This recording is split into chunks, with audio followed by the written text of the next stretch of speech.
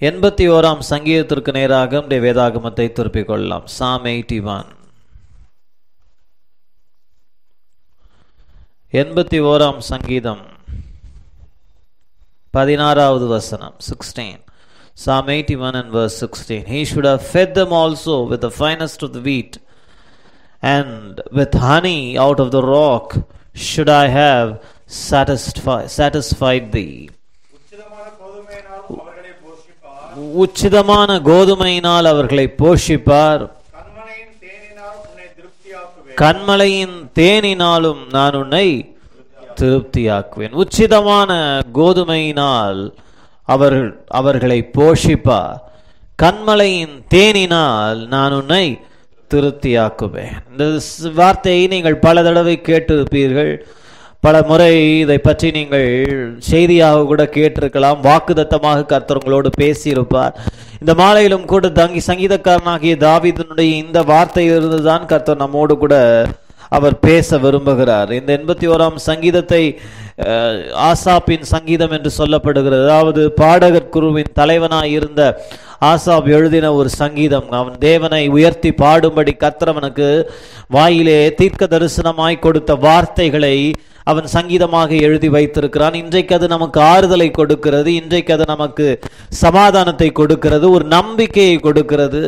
பாருங்க ஆசாப் என்கிறவன் ஒரு worship leader இன்றைக்கு இருக்கிற ஒரு ஆராதனை தலைவனை போல கர்த்தர் அந்த நாட்களிலே தாவிதன் மூலமாய் தேவாலயத்திலே பாடகர் குரு குழுவை தேவன் ஏற்படுத்தி அந்த பாடகர் குழுவின் மேல் ஒரு தலைவனை நியமித்திருந்தார்கள். இப்படி நிறைய தலைவர்கள் டர்ன் பை டர்ன் இல்லையா? ஒருத்தர் மாத்தி ஒருத்தர் ஒருவர் இந்த வாரம் அடுத்த அடுத்த வாரம்னு சொல்லி அப்படி டர்ன் போட்டு நிறைய வர்ஷிப் லீடர்ஸ்கள் அங்கே இஸ்ரவேலிலே தேவாலயத்திலே கத்தரை ஆராதிக்கும்படி ஏற்படுத்தப்பட்டார்கள். இப்படிப்பட்டவர்களிலே ஒருவன் தான் இந்த சங்கீதத்தை எழுதி வைத்திருக்கிறான் அதாவது இதிலிருந்து நமக்கு என்ன தெரிகிறது என்று சொன்னால் இந்த சங்கீதத்தை எழுதின ஆசாபு தன்னுடைய சொந்த வார்த்தைகளை அல்ல கர்த்தருடைய ஆவியினால் ஏவப்பட்டவனாய் இந்த வார்த்தைகளை எழுதி இருக்கிறான் அதை தான் வேதாகமும் தீர்க்க தரிசனம் என்று சொல்லுகிறது. நீங்கள் பேதுரு ரெண்டு பேதுருவின் புஸ்தகத்திலே நீங்கள் வேதத்தை வாசிக்கும் பொழுது அங்கே வேதம் சொல்லுகிறது வேத வாக்கியங்களை தேவன் தம்முடைய தாசர்களுக்கு ஏவின பொழுது அவர்கள் தீர்க்க தரிசனங்களாக அவைகளை எழுதினார்கள் என்று. அப்படியானால் இது ஒரு பாடல் மாத்திரமல்ல இந்த எண்பத்தி ஓராம் சங்கீதம். நாம் வாசித்த வார்த்தை ஒரு தீர்க்க தரிசனமாய் அவனால் சொல்லப்படுகிறது. என்ன தீர்க்க தரிசனமாய் அவன் சொல்லி முடிக்கிறான்னு சொன்னா உச்சிதமான கோதுமையினாலும் கண்மலையின் தேனினாலும் அவர்களை திருப்தியாக்குவார் போஷிப்பார் திருப்தியாக்குவார்னு சொல்லி. அப்போ இது ஒரு பாட்டு மாத்திரம் இல்லைங்க ஏதோ ஒரு கவி அல்ல ஒரு கவிதை அல்ல அது ஒரு தீர்க்க தரிசனமாய் கத்தர் இந்த நமக்கு கொடுக்கிறார். நீங்கள் விசுவாசித்தால் உங்களுடைய வாழ்க்கையும் கூட தேவன் போஷித்து உங்களை திருப்தியாக்குகிற கர்த்தராய் காணப்படுகிறார். போஷிக்கிறார் என்று சொல்லும் பொழுது பசிக்கு ஏதோ ஒரு ஆகாரத்தை கொடுத்தால் போதுமானது இல்லையா? பசிக்கு எது சாப்பிட்டாலும் வயிறு ஏற்றுக்கொள்ள போகிறது பசி அடங்குகிறது. ஆனால் கர்த்தர் போஷிக்கும் முறை வேறு. நாம ஒரு மனுஷன் பசியா இருக்கும் பொழுது நம்முடைய கைக்கு நேரிட்டதை எடுத்து கொடுக்கிறோம். ஆனா கர்த்தர் கொடுக்கும் பொழுது எதையோ ஒன்னை எடுத்து பசிக்கு கொடுக்கிற தேவன் அல்ல. ஏதோ பேருக்கு கடமைக்கு பசியாற்றுகிற ஒரு தேவன் அல்ல. கடமைக்கு தேவைகளை சந்திக்கிற தேவன் அல்ல. கடமைக்கு வாஞ்சைகளை நிறைவேற்றுகிறவர் அல்ல. அவர் செய்யும் பொழுது உச்சிதமானதை தேவன் கொடுக்கிறார். திருப்தி செய்யும் காரியங்களை தேவன் நம்முடைய வாழ்க்கையிலே அவர் கையளிக்கிற தேவனாய் ஈகிற தேவனாய் அவர் காணப்படுகிறார். ஆகையினால் இந்த மாலை நேரத்தில் பசியோடு கூட தாகத்தோடு கூட இருக்கிற நீங்கள் பாக்கியவான்கள். இயேசு கூட சொன்னார் இல்லையா நீதியின் மேல் பசி தாகம் உள்ளவர்கள் பாக்கியவான்கள். நீங்கள் திருப்தி அடைவீர்கள். ஏன் திருப்தி அடைவோம்னு சொன்னா கர்த்தர் நம்மை போஷித்து திருப்திப்படுத்துகிற தேவனாய் அவர் காணப்படுகிறார். எதை கொண்டுன்னு சொன்னா ஏதோ ஒன்று கொடுத்து அல்ல உச்சிதமானதை கர்த்தர் வைத்திருக்கிறார். பெஸ்ட் பிரீமியம் குவாலிட்டி இல்லையா பெஸ்ட் தேவன் சிறப்பானதை தேவன் நமக்காக வைத்திருக்கிறார். உச்சிதமான கோதுமை என்றும் அதை கண்மலையின் தேன் என்றும் சொல்லுகிறது. இது ஏதோ சாப்பாடு உணவு சம்பந்தப்பட்ட விஷயத்தை அல்ல. ஏனென்றால் பழைய ஏற்பாட்டிலே சங்கீதங்கள் எல்லாம் ஓமானங்களாக எழுதப்பட்டவைகள் என்று வேதம் சொல்லுகிறது. அப்படியானால் இந்த தேனும் இந்த கோதுமையும் ஏதோ ஒன்றை குறிக்கிறது. அதிலே பலவிதமான அர்த்தங்களை ஆவிக்குரிய அர்த்தங்களை நாம் பார்த்திருக்கிறோம். ஆனால் இந்த மாலையிலே என்னுடைய இருதயத்திலே இப்ப தேவ ஆவியானவர் வைத்ததை உங்களோடு கூட பகிர்ந்து கொள்ள விரும்புகிறேன். இங்கே உச்சிதமான கோதுமை என்று சொல்லும் பொழுது ஃபைனஸ்ட் ஆஃப் வீட் உச்சிதமான கோதுமை என்று சொல்லும் பொழுது அந்த உச்சிதமான கோதுமை எப்படி நமக்கு கிடைக்கும் என்று சொன்னால் அது பதரிலிருந்து பிரித்தெடுக்கப்பட்டு இல்லையா? பதரிலிருந்து பிரித்தெடுக்கப்பட்ட கோதுமை பின்பு நைய புடைக்கப்பட்ட பின்புதான் அதிலிருந்து நமக்கு சிறப்பானது நமக்கு கிடைக்கும். இல்லையா? அது இது இதுக்கு ஒரு விளக்கம் நமக்கு தேவையே கிடையாது. ஆனா புரி புரிதலுக்காக நான் சொல்லுகிறேன். இல்லையா? புடைத்து எடுக்கும் பொழுது என்ன நடக்கிறது? இல்லையா? முதல்ல அரிகட்டுகளை பிரித்தெடுக்கும் பொழுதே பதரெல்லாம் ஒதுக்கி தள்ளப்படுகிறது. அப்ப அதுலேயே அந்த ஃபில்டரிங் ப்ராசஸ்லேயே ஓரளவுக்கு அந்த விளைச்சலிலே நல்ல கதிர்கள் எல்லாம் சேர்க்கப்படுகிறது. பதராய் போனவைகள் சாவியாய் பொத்தலாய் போனவைகள் எல்லாம் ஒதுக்கப்படுகிறது. அப்போ இதுலயே நல்ல கோதுமை வருது. இப்போ அதை இன்னும் என்ன பண்றாருன்னு சொன்னா இன்னும் ஃபைனா ஃபில்டர் பண்றாரு. இன்னும் அதிகமாய் சல்லடை போட்டு புடைத்து எடுக்கும் பொழுது கெட்டதெல்லாம் அரைகுறையா இருக்கிறதெல்லாம் சரியில்லாததெல்லாம் புடைத்து எடுக்கும்போது என்ன நடக்கும்? எல்லாம் சிதறி போகும். நல்லதெல்லாம் தங்கிவிடும். அப்ப இங்க ஆண்டவர் உச்சிதமான கோதுமையினால் உன்னை போஷிப்பேன் என்று சொல்லும் பொழுது ஏதோ கோதுமை கருத்தர் கொடுக்க போகிறார் என்ற அர்த்தம் அல்ல உனக்கென்று தேவன் எவ்வளவு சிறப்பானதை உன் வாழ்க்கையிலே செய்யும்படி நம்முடைய வாழ்க்கையிலே பிரித்தெடுக்கப்பட்ட ஆசிர்வாதங்களை கத்த நமக்காக வைத்திருக்கிறார். ஹalleluya பிரித்தெடுக்கப்பட்ட ஆசிர்வாதங்கள் separated consecrated blessings are kept for you விசேஷமாக இந்த ஃபைனஸ்ட் ஆஃப் வீட் இந்த உச்சிதமான கோதுமை யாருக்கு சொந்தமாகும் என்று சொன்னால் லேவி கோத்திரத்திலே பிரதான ஆசாரியனுக்கென்று அது முதற் கதிர்களை கொண்டு வந்து படைக்கும் பொழுது தசம பாகங்களாக முதற்கனிகளாக படைக்கும் பொழுது இந்த ஃபைனஸ்ட் ஆஃப் வீட் இல்லையா உச்சிதமான கோதுமையை படைப்பார்கள். கர்த்தருக்கு என்று படைப்பதை அவர்கள் ஆசாரியர்களுக்கு என்று கொடுப்பார்கள். அப்ப இந்த மாலையிலே கிறிஸ்துவுக்குள் ஆசாரியர்களும் லேவி கோத்திரத்தின் ஆசாரியர்களும் ராஜாக்களுமாய் இருக்கிற நீங்களும் நானும்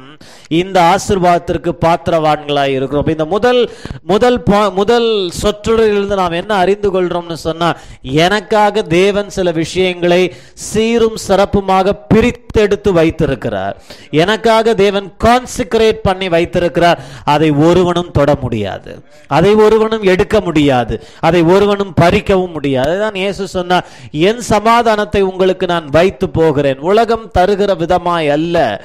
நான் தருகிற சமாதானம் உங்களில் நிலைத்திருக்கும் அதை உலகம் கொடுக்கவும் முடியாது உங்களிலிருந்து எடுக்கவும் முடியாது. என் சமாதானத்தை வைத்து போகிறேன். பாருங்க உலகம் கொடுக்கவும் முடியாததை எடுக்கவும் முடியாது. அது என்ன சமாதானம் என்று சொல்லும் பொழுது இ- சமாதானம் என்று சொன்னாலுமே கிறிஸ்தவத்திலும் சரி பொதுவாக கிறிஸ்துவை அறியாதவர்களும் இருக்கிற ஒரு அபிப்பிராயம் என்று சொன்னால் மன அமைதியை அவர்கள் குறிக்கிறது என்று நினைக்கிறார்கள். மன அமைதி அதனோடு சேர்ந்து வருகிறது. நான் இல்லைன்னு சொல்ல மன சாந்தி அதனோடு சேர்ந்து வருகிறது. இல்லைன்னு நான் சொல்லலை. சண்டை இல்லாத ஒரு சூழ்நிலை அதெல்லாம் குறிக்கிறது. நான் இல்லைன்னு மறுதளிக்கல. ஆனால் உண்மையாகவே சமாதானம் என் சமாதானத்தை உங்களுக்கு கொடுத்து விட்டு போகிறேன்னு சொல்லும் பொழுது அது வெறும் மன அமைதி மன சாந்தி அல்ல. தேவனோடு நமக்கு ஒரு நல்ல உறவை பிதாவாகிய தேவனோடு நமக்கு ஒரு உறவை தேவன் அமைத்து கொடுக்கிறார் பாருங்க. அதுதான் ரெக்கன்சிலியேஷன் என்று வேதம் சொல்லுகிறது. ஒப்புரவாகுதல். ஒப்புரவாக்கப்பட்டிருக்கிறோம். கிறிஸ்துவினாலே பிதாவோடு கூட ஒரு காலத்தில் பகையாளிகளும் பிசாசின் பிள்ளைகளும் கீழ்ப்படியாமையின் சந்ததியுமாய் இருந்து அந்தகாரத்திலே ஊறி உழண்டு கொண்டிருந்த நம்மை கிறிஸ்து தன் மரணத்தின் மூலமாக நம்மை பிதாவாகிய தேவனோடு ஒப்புரவாக்கி இருக்கிறார். ஒப்புரவாக்குனது மாத்திரமல்ல ஒரு ஒப்புரவாக்குதலின் ஊழியத்தையும் நமக்கு கொடுத்திருக்கிறார். ஒப்புரவாக்குதலின் ஊழியத்தை கொடுத்தது மாத்திரமல்ல ஒப்புரவாக்குதலின் ஊழியக்காரர்களாக கத்த நம்மை மாற்றி இருக்கிறார் he not only has reconciled you not only has given you the ministry of reconciliation but he has also made you able ministers or ambassadors of reconciliation. உங்கள் மூலமாய் கிறிஸ்து இந்த உலகத்தை பிதாவினிடத்தில் என்ன பண்ணுகிறாரு? சேர்க்கிறார். யார் மூலமாக? உங்கள் மூலமாக என் மூலமாக. அப்போ சமாதானம் என்று சொல்வது தேவனோடு கொண்டிருக்கிற நல்ல உறவை காண்பிக்கிறது. சமாதானம் என்று சொல்லும் பொழுது கெட்ட எந்த விஷயமும் உடைந்து கிடக்காதபடிக்கு பரிபூர்ணமாய் இருக்கிறதை அது காண்பிக்கிறது. கிறிஸ்துவின் சமாதானம் எப்படிப்பட்டது என்று யோசித்து பாருங்கள். இல்லையா கிறிஸ்துவின் சமாதானம் என்பது பிரச்சனையற்ற வாழ்க்கை என்று அல்ல. பிரச்சனைகளின் மத்தியிலே அதை மேற்கொள்ளும் ஆற்றலும் அந்த ஆற்றலை பயன்படுத்தும் சக்தியுமாய் அந்த சமாதானம் காணப்படுகிறது. உதாரணத்திற்கு இயேசு தன் சீஷர்களை பார்த்து நாம் அக்கறைக்கு போவோம் என்று சொல்லி தன் சீஷர்களை கூட்டிக் கொண்டு போகிறதை நாம் பார்க்கிறோம். அவர்கள் அக்கறைக்கு போகும் பொழுது இயேசு கப்பலின் பின்னணையத்திலே போய் நித்திரையாய் தலையணையை வைத்து படுத்துக் கொண்டிருக்கிறார். வேதம் சொல்லுகிறது கடலிலே ஒரு பெரிய சீற்றம் ஒரு புயல் எழும்புகிறது. அந்த புயலிலே தண்டு வலிக்க கஷ்டப்படுகிறார்கள். காற்று எதிர்காற்று பலமாய் வீசுகிறது. கப்பல் நிறைய தண்ணீர் ரொம்புகிறது. இவர்கள் உள்ள இருக்கிற நிறைய பேர் அதுல எக்ஸ்பீரியன்ஸ்டு ஃபிஷர்மேன் இல்லையா? அனுபவசாலிகளான மீனவர்கள். அவர்கள் எல்லாரும் உயிர் தப்பினால் போதும் என்று சொல்லி கப்பல்ல இருந்து எல்லாத்தையும் உண்டு வெளியே ஊத்துறாங்க. ஆனாலும் புயலின் சீற்றத்திற்கு அவர்களால் என்ன செய்ய முடியவில்லை? தப்ப முடியவில்லை. அப்பொழுது இயேசுவை வந்து தட்டி எழுப்புகிறார்கள். ஆண்டவரே நாங்கள் மடிந்து போகிறது உமக்கு. கவலை இல்லையா? முதல்ல அந்த கேள்வியே தப்பான ஒரு கேள்வி. ஏன் தப்பான கேள்வின்னு சொன்னா முதல்ல இயேசு அவர்களை பார்த்து சொன்ன வார்த்தை என்ன? நாம் அக்கறைக்கு போவோம்னு சொன்னார். பாதியில போய் மூழ்குவோம்னு சொல்லல. பாதியில போய் முங்கி போவோம்னு சொல்லல. அக்கறைக்கு போவோம்னு சொன்னார். அவர் சொன்னால் அது ஆகும். அவர் கட்டளையிட்டால் அது நிற்கும். ஒரு வார்த்தை சொன்னால் அந்த வார்த்தை நம்மை வழிநடத்த வல்லது. முதல்ல அப்ப அதிலிருந்து நமக்கு என்ன தெரியுதுன்னா அவங்க அவர் கொடுத்த வாக்கை பற்றி கொள்ளல இன்றைய கிறிஸ்தவ வாழ்க்கையை நீங்க வெற்றிகரமா வாழணும்னா விசுவாசத்துல உறுதியா இருக்கணும்னா அவர் என்ன வாக்கு கொடுக்கிறாரோ அந்த வாக்கை என்ன பண்ணணும்? பற்றி கொள்ளணும் நிறைய பேர் வாக்கு கேட்க வருவாங்க. கேட்பாங்க ஆனா வாக்கு பற்றி கொள்ளுகிறது இல்லை வாக்கை நீ பற்றி கொள்ளுவாயானால் நீ அக்கறைப்படலாம். இரண்டாவது அந்த கேள்வியில் என்ன தப்புன்னு சொன்னா நாங்கள் மடிந்து போகிறது உமக்கு கவலையா இல்லையான்னு சொன்னால் கப்பல் மூழ்கி மடிந்து போகுமே ஆனால் கூடவே யாரும் மடிந்து போகணும். இயேசுவும் மடிந்து போகணும். அதாவது பதற்றத்திலே பிதற்றுகிறதை பார்க்கிறோம். இல்லையா பதற்றம் வரும்பொழுது பிதற்றலும் கூடவே என்ன சேருகிறது? வந்து விடுகிறது. வேதம் சொல்லுகிறது விசுவாசியோ பதறான் என்று வேதம் சொல்லுகிறது. சிங்கத்தை போல தைரியமாய் நிற்பான். அடுத்தது என்ன அந்த கேள்வியில தப்புன்னு சொன்னா அவர்கள் ஆண்டவருடைய அன்பை சந்தேகப்படுகிறார்கள். கிறிஸ்துவினுடைய அன்பை அவருடைய அவர்கள் மேல் வைத்திருந்த பிரியத்தை அவர்கள் சந்தேகப்படுகிறார்கள். நாங்கள் மடிந்து போகிறது உமக்கு கவலையா இல்லையா? Carest not the don't you aren't you bothered aren't you you that we are perishing நமக்கு கவலை இல்லையான்னு கேட்குறாங்க யாரை பார்த்து நம்ம இப்படி கேட்போம்? நீங்களே முடிவு பண்ணிக்கோங்க. இல்லையா? அந்த மாதிரி ஒரு கேள்வியை கேட்கிறார்கள். பவுலடிகள் சொல்லுகிறார் கிறிஸ்துவின் அன்பை விட்டு நம்மை பிரிப்பவன் யார்? கிறிஸ்துவின் அன்பை விட்டு நம்மை பிரிப்பவன் யார்? அப்படின்னு சொல்லி பலவிதமான காரியங்களை பட்டியல் பட்டியலிடுகிறார் பசியோ துன்பமோ வியாகுலமோ பட்டயமோ நாச மோசமோ வறுமையோ நிர்வாணமோ வரும் காரியங்களோ ஆழமோ உயரமோ இவைகள் ஒன்றும் நம்ம என்ன செய்யாது?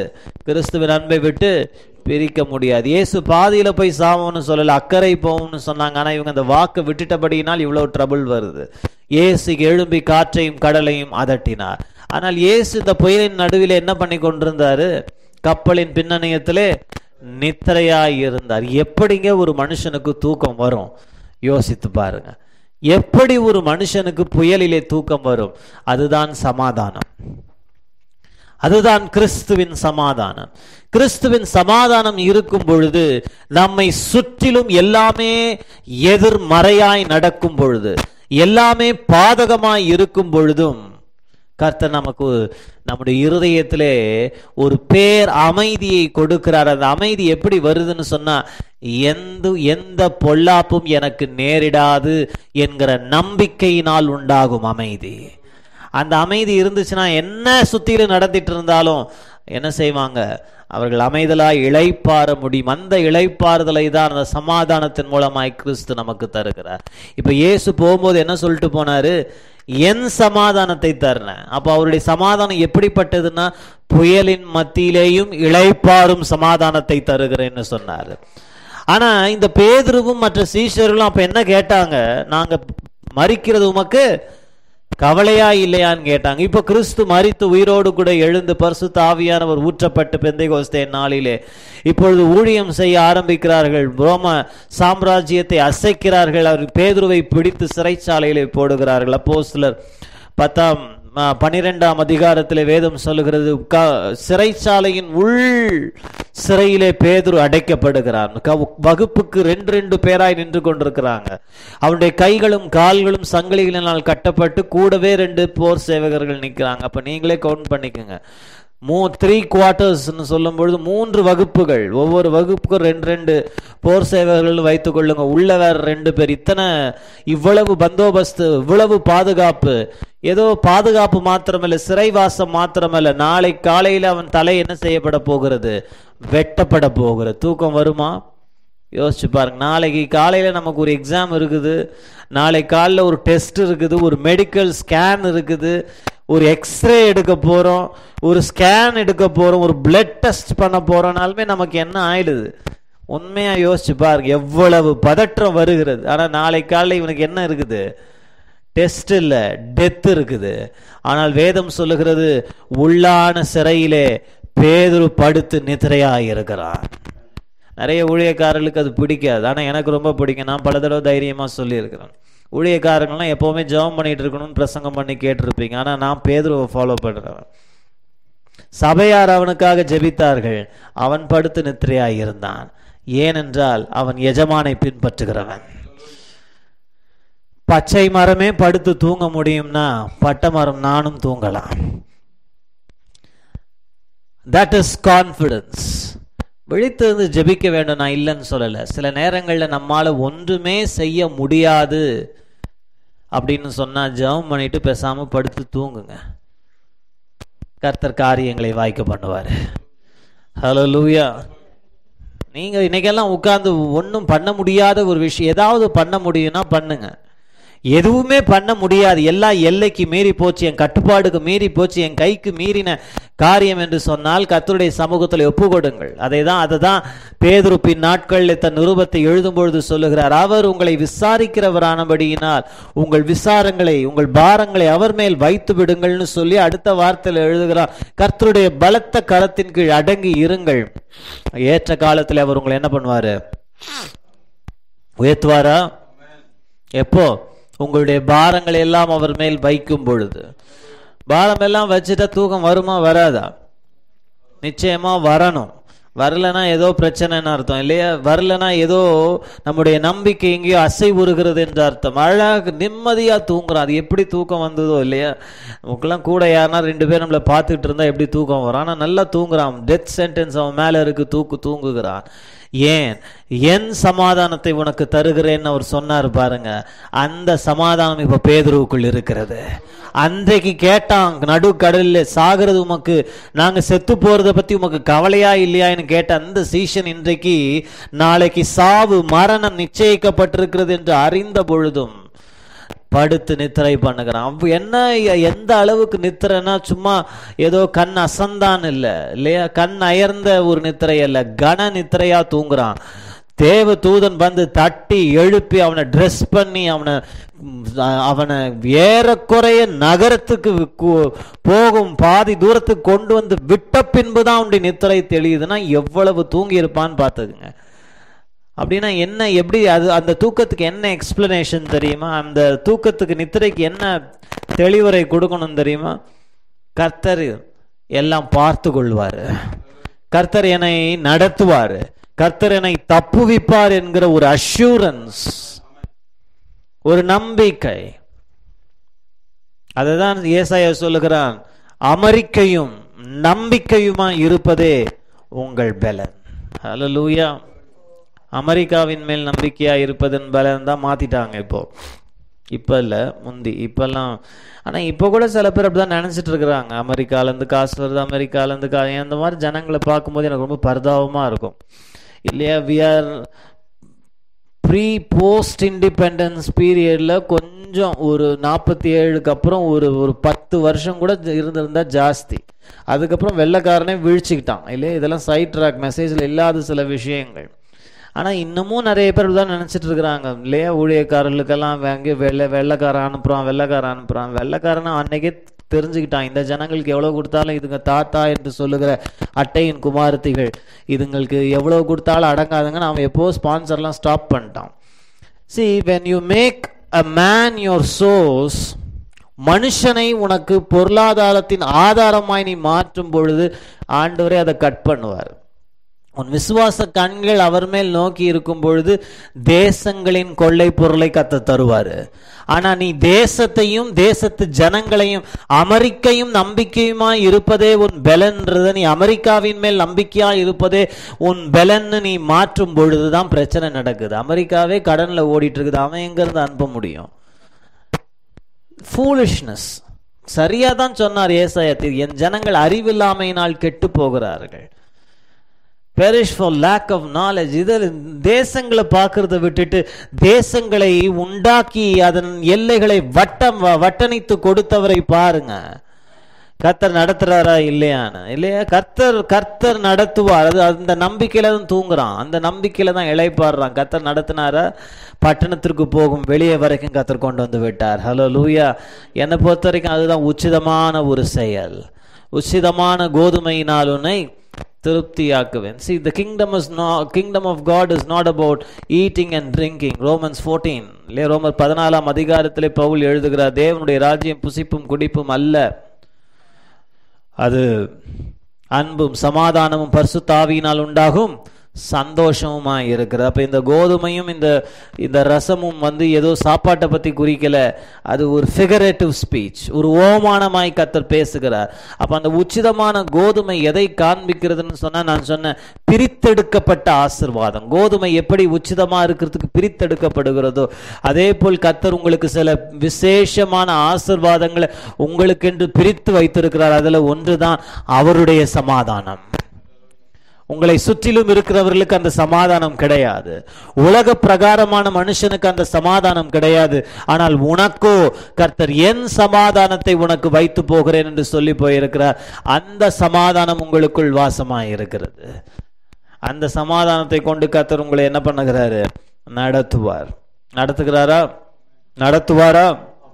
உச்சிதமான கோதுமையினால் என்று சொல்லும் பொழுது பிரித்து வைக்கப்பட்ட ஒரு ஆசிர்வாதம். உனக்கென்று பிரத்யட்சமாக. வேதாகமத்திலே இப்படி நிறைய பேருக்கு கத்தற்பு ஆசிர்வாதங்களை பிரித்து எடுத்து வைத்திருந்தார். அதில் ஒரு மனுஷனை நான் இங்கே ஒன்று சாம்வேலின் புஸ்தகத்திலே நாம் பார்க்கலாம். ஃபர்ஸ்ட் சாமியூல் சாப்டர் நைன் ஒன்று சாம்வேலின் புஸ்தகம் ஒன்பதாம் அதிகாரத்திலே இங்கே சாம்வேல் தீர்க்கதரிசி என்ன சொல்லுகிறார் என்று பாருங்கள். ஒன்று சாம்வேலின் புஸ்தகம்.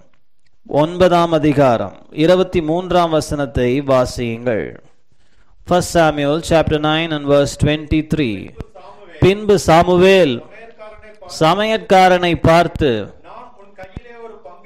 நான் உன் கையிலே ஒரு பங்கை கொடுத்து வைத்தேனே.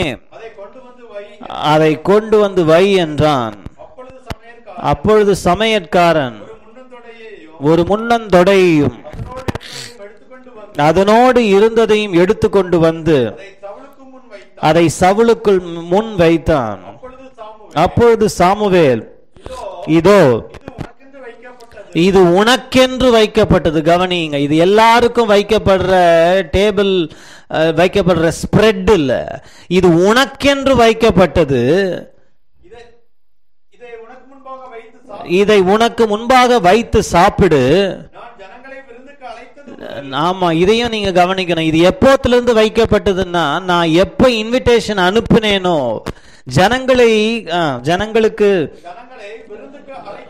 ஜனங்களை விருந்துக்கு அழைத்தது முதல் இது வரைக்கும் இது உனக்காக வைக்கப்பட்டிருந்தது என்றான். ஹalleluya இன்விடேஷன் அனுப்பின போது சாம்வேல் தீர்க்கதரிசியின் மூலமாய் கத்தர் பேசுகிறார். தேசத்தின் மேல் ஜனங்கள் ஒரு ராஜா வேண்டும் என்று அரசன் வேண்டும் என்று விரும்புகிறார்கள். ஆகையினாலேயே சவுல் என்கிற ஒரு மனுஷனை தேசத்தின் மேல் அதிபதியாக அபிஷேகம் பண்ணு என்று சொல்லி வேண்டிய ஆலோசனைகளை கத்தர் கொடுத்து அனுப்புகிறார். நாளைய தினம் இந்த நேரத்தில் சவுல் என்கிற ஒரு மனுஷனை தேடி வருவான். பெனிமின் கோத்திரத்தை சேர்ந்தவன் கீஷன் குமாரன் சொல்லி எல்லா விதமான விவரங்களையும் சாம்வேலுக்கு கத்தர் கொடுக்க கொடுத்துட்டு தேசத்தில் என்ன பண்ணு? ஒரு பந்தியை ஆயத்தப்படுத்த ஆயத்தப்படுத்துன்னு சொல்றார். அந்த பந்தியை ஆயத்தப்படுத்தும் பொழுதே ராஜாவாக அபிஷேகம் பண்ணப்பட போகிற மனுஷனுக்கு என்று கர்த்தர் ஒரு ஆசீர்வாதத்தை பிரித்து வைக்கிறார். ஒரு பங்கை தேவன் என்ன பண்ணி வச்சிருக்கிறாரு? பிரித்து வைத்திருக்கிறதை நாம் பார்க்கிறோம். என்ன பிரித்து வைத்திருந்தார்? ஒரு முன்னன் தொடையை பிரித்து தேவன் வைத்திருந்தார். அப்படியானால் நம்ம பார்த்தோம் உச்சிதமான கோதுமையும் நமக்கு எப்படி கிடைக்குதுன்னு சொன்ன சாதாரணமாக கிடைக்காது. உச்சா உச்சிதமான கோதுமை பிரித்தெடுக்கிற புடைத்து பிரித்தெடுக்கப்பட்ட கோதுமை தான் உச்சிதமான கோதுமை. அதே போல் இங்கேயும் எந்த ஜனங்களுக்கும் கொடுக்கப்படாத வழங்கப்படாத பிரித்தெடுத்து வைக்கப்பட்ட ஒரு தொடையை ஒரு ஒரு ஒரு ஒரு பங்கை கத்த சாம்வேலுக்கு வைத்திருந்த சவுலுக்கு வைத்திருந்தது போல இன்றைக்கு நான் விசுவாசிக்கிறேன் கத்த நமக்கும் வைத்திருக்கிறாரு. ஹலோ லூயா ஒரு தை பீஸ் விசுவாசிக்கிறீங்களா? என்ன வச்சிருக்கிறாரு? ஒரு தொடை வச்சிருக்கிறாரு. இந்த இங்கிலீஷ்ல ஷோல்டர்னு சொல்லப்படும். ஏதோ ஒரு ஆகமத்தில் ஒரு நல்ல பங்கு வைக்கப்பட்டிருக்கிறது. ஒரு தை பீஸ் ஒரு முன்னன் தொடையை கத்த வைத்திருக்கிறார். விசுவாசிக்கிறீங்களா? இந்த தைப்பீஸுக்கு தான் வீட்டில் நிறைய சண்டை நடக்கும். நிறைய குடும்பம் உங்கள் குடும்பத்தில் நிறைய மெம்பர்ஸ் இருந்தால் யாருக்கு அந்த தைப்பீஸ் போகும்னு பொதுவாக மூத்த பிள்ளைக்கு என்ன பண்ணுவாங்க? வச்சிருவாங்க இல்லையா? அது ஒரு வழக்கமாக இருக்குது இல்லையா? வச்சிருவாங்க. ஆனால் கத்த உனக்கென்று வைத்திருக்கிறாரு.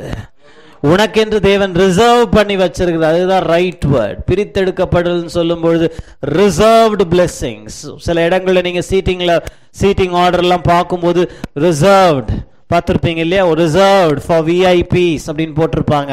கர்த்தருடைய பார்வையிலே நீ ஒரு விஐபி கத்தருடைய பார்வையிலே நீ ஒரு முக்கியஸ்தன். கத்தருடைய பார்வையிலே நீ ஒரு பிரதானி. கத்தருடைய பார்வையிலே நீ அருமையானவன். ஆகையினால் அவர் உன்னை நேசித்தார். ஆகையினால் நீ கனம் பெற்றாய். ஆகையினால் உனக்கென்று தேவன் ஒரு பங்கை ஒரு முன்னன் தொடையை உன்னை அழைப்பதற்கு முன்பதாகவே தேவன் ஆயத்தம் பண்ணி வச்சிட்டாரு.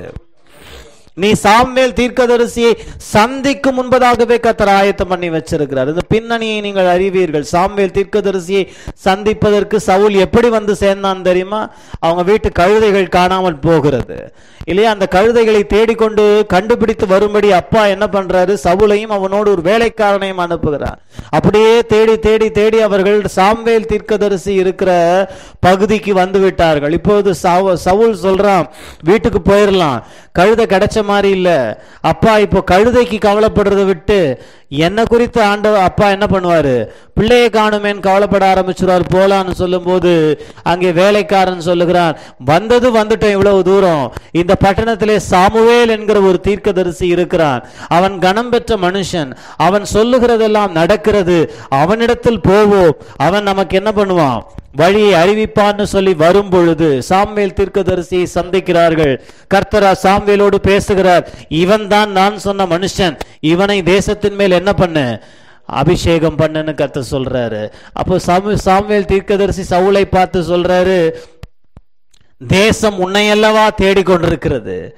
தேசம் உன்னையல்லவா எதிர்பார்த்து கொண்டிருக்குன்னு சொன்னவன சவுலுக்கு ரொம்ப ஷாக்கிங்கா இருக்கு. அவன் சொல்றான் நான் வந்ததே ஒரு பிரச்சனைக்கு தீர்வு காண வந்திருக்கிறேன். கழுதையை காணும்னு வந்திருக்கிறேன். நீர் என்னன்னா என்ன ஒருத்தர் தேடிட்டு இருக்கிறாங்க. தேசமே தேடுதுன்னு சொல்றீரு. இன்றைக்கு சில நேரங்களில் நீங்க தேடிக்கொண்டிருக்கிற விஷயம் ஒன்று. ஆனால் உன்னை சில விஷயங்களுக்காக சிலர் தேடிக்கொண்டிருக்கிறார்கள். நீ கழுதையை தேடிட்டு இருக்கிற சிலர் உன்னை தேடிட்டு இருக்கிறாங்க. நான் அதை விசுவாசிக்கிறேன். என்னை தேடிக்கொண்டிருக்கிற ஜனங்கள் நிறைய பேர் இருக்கிறாங்க.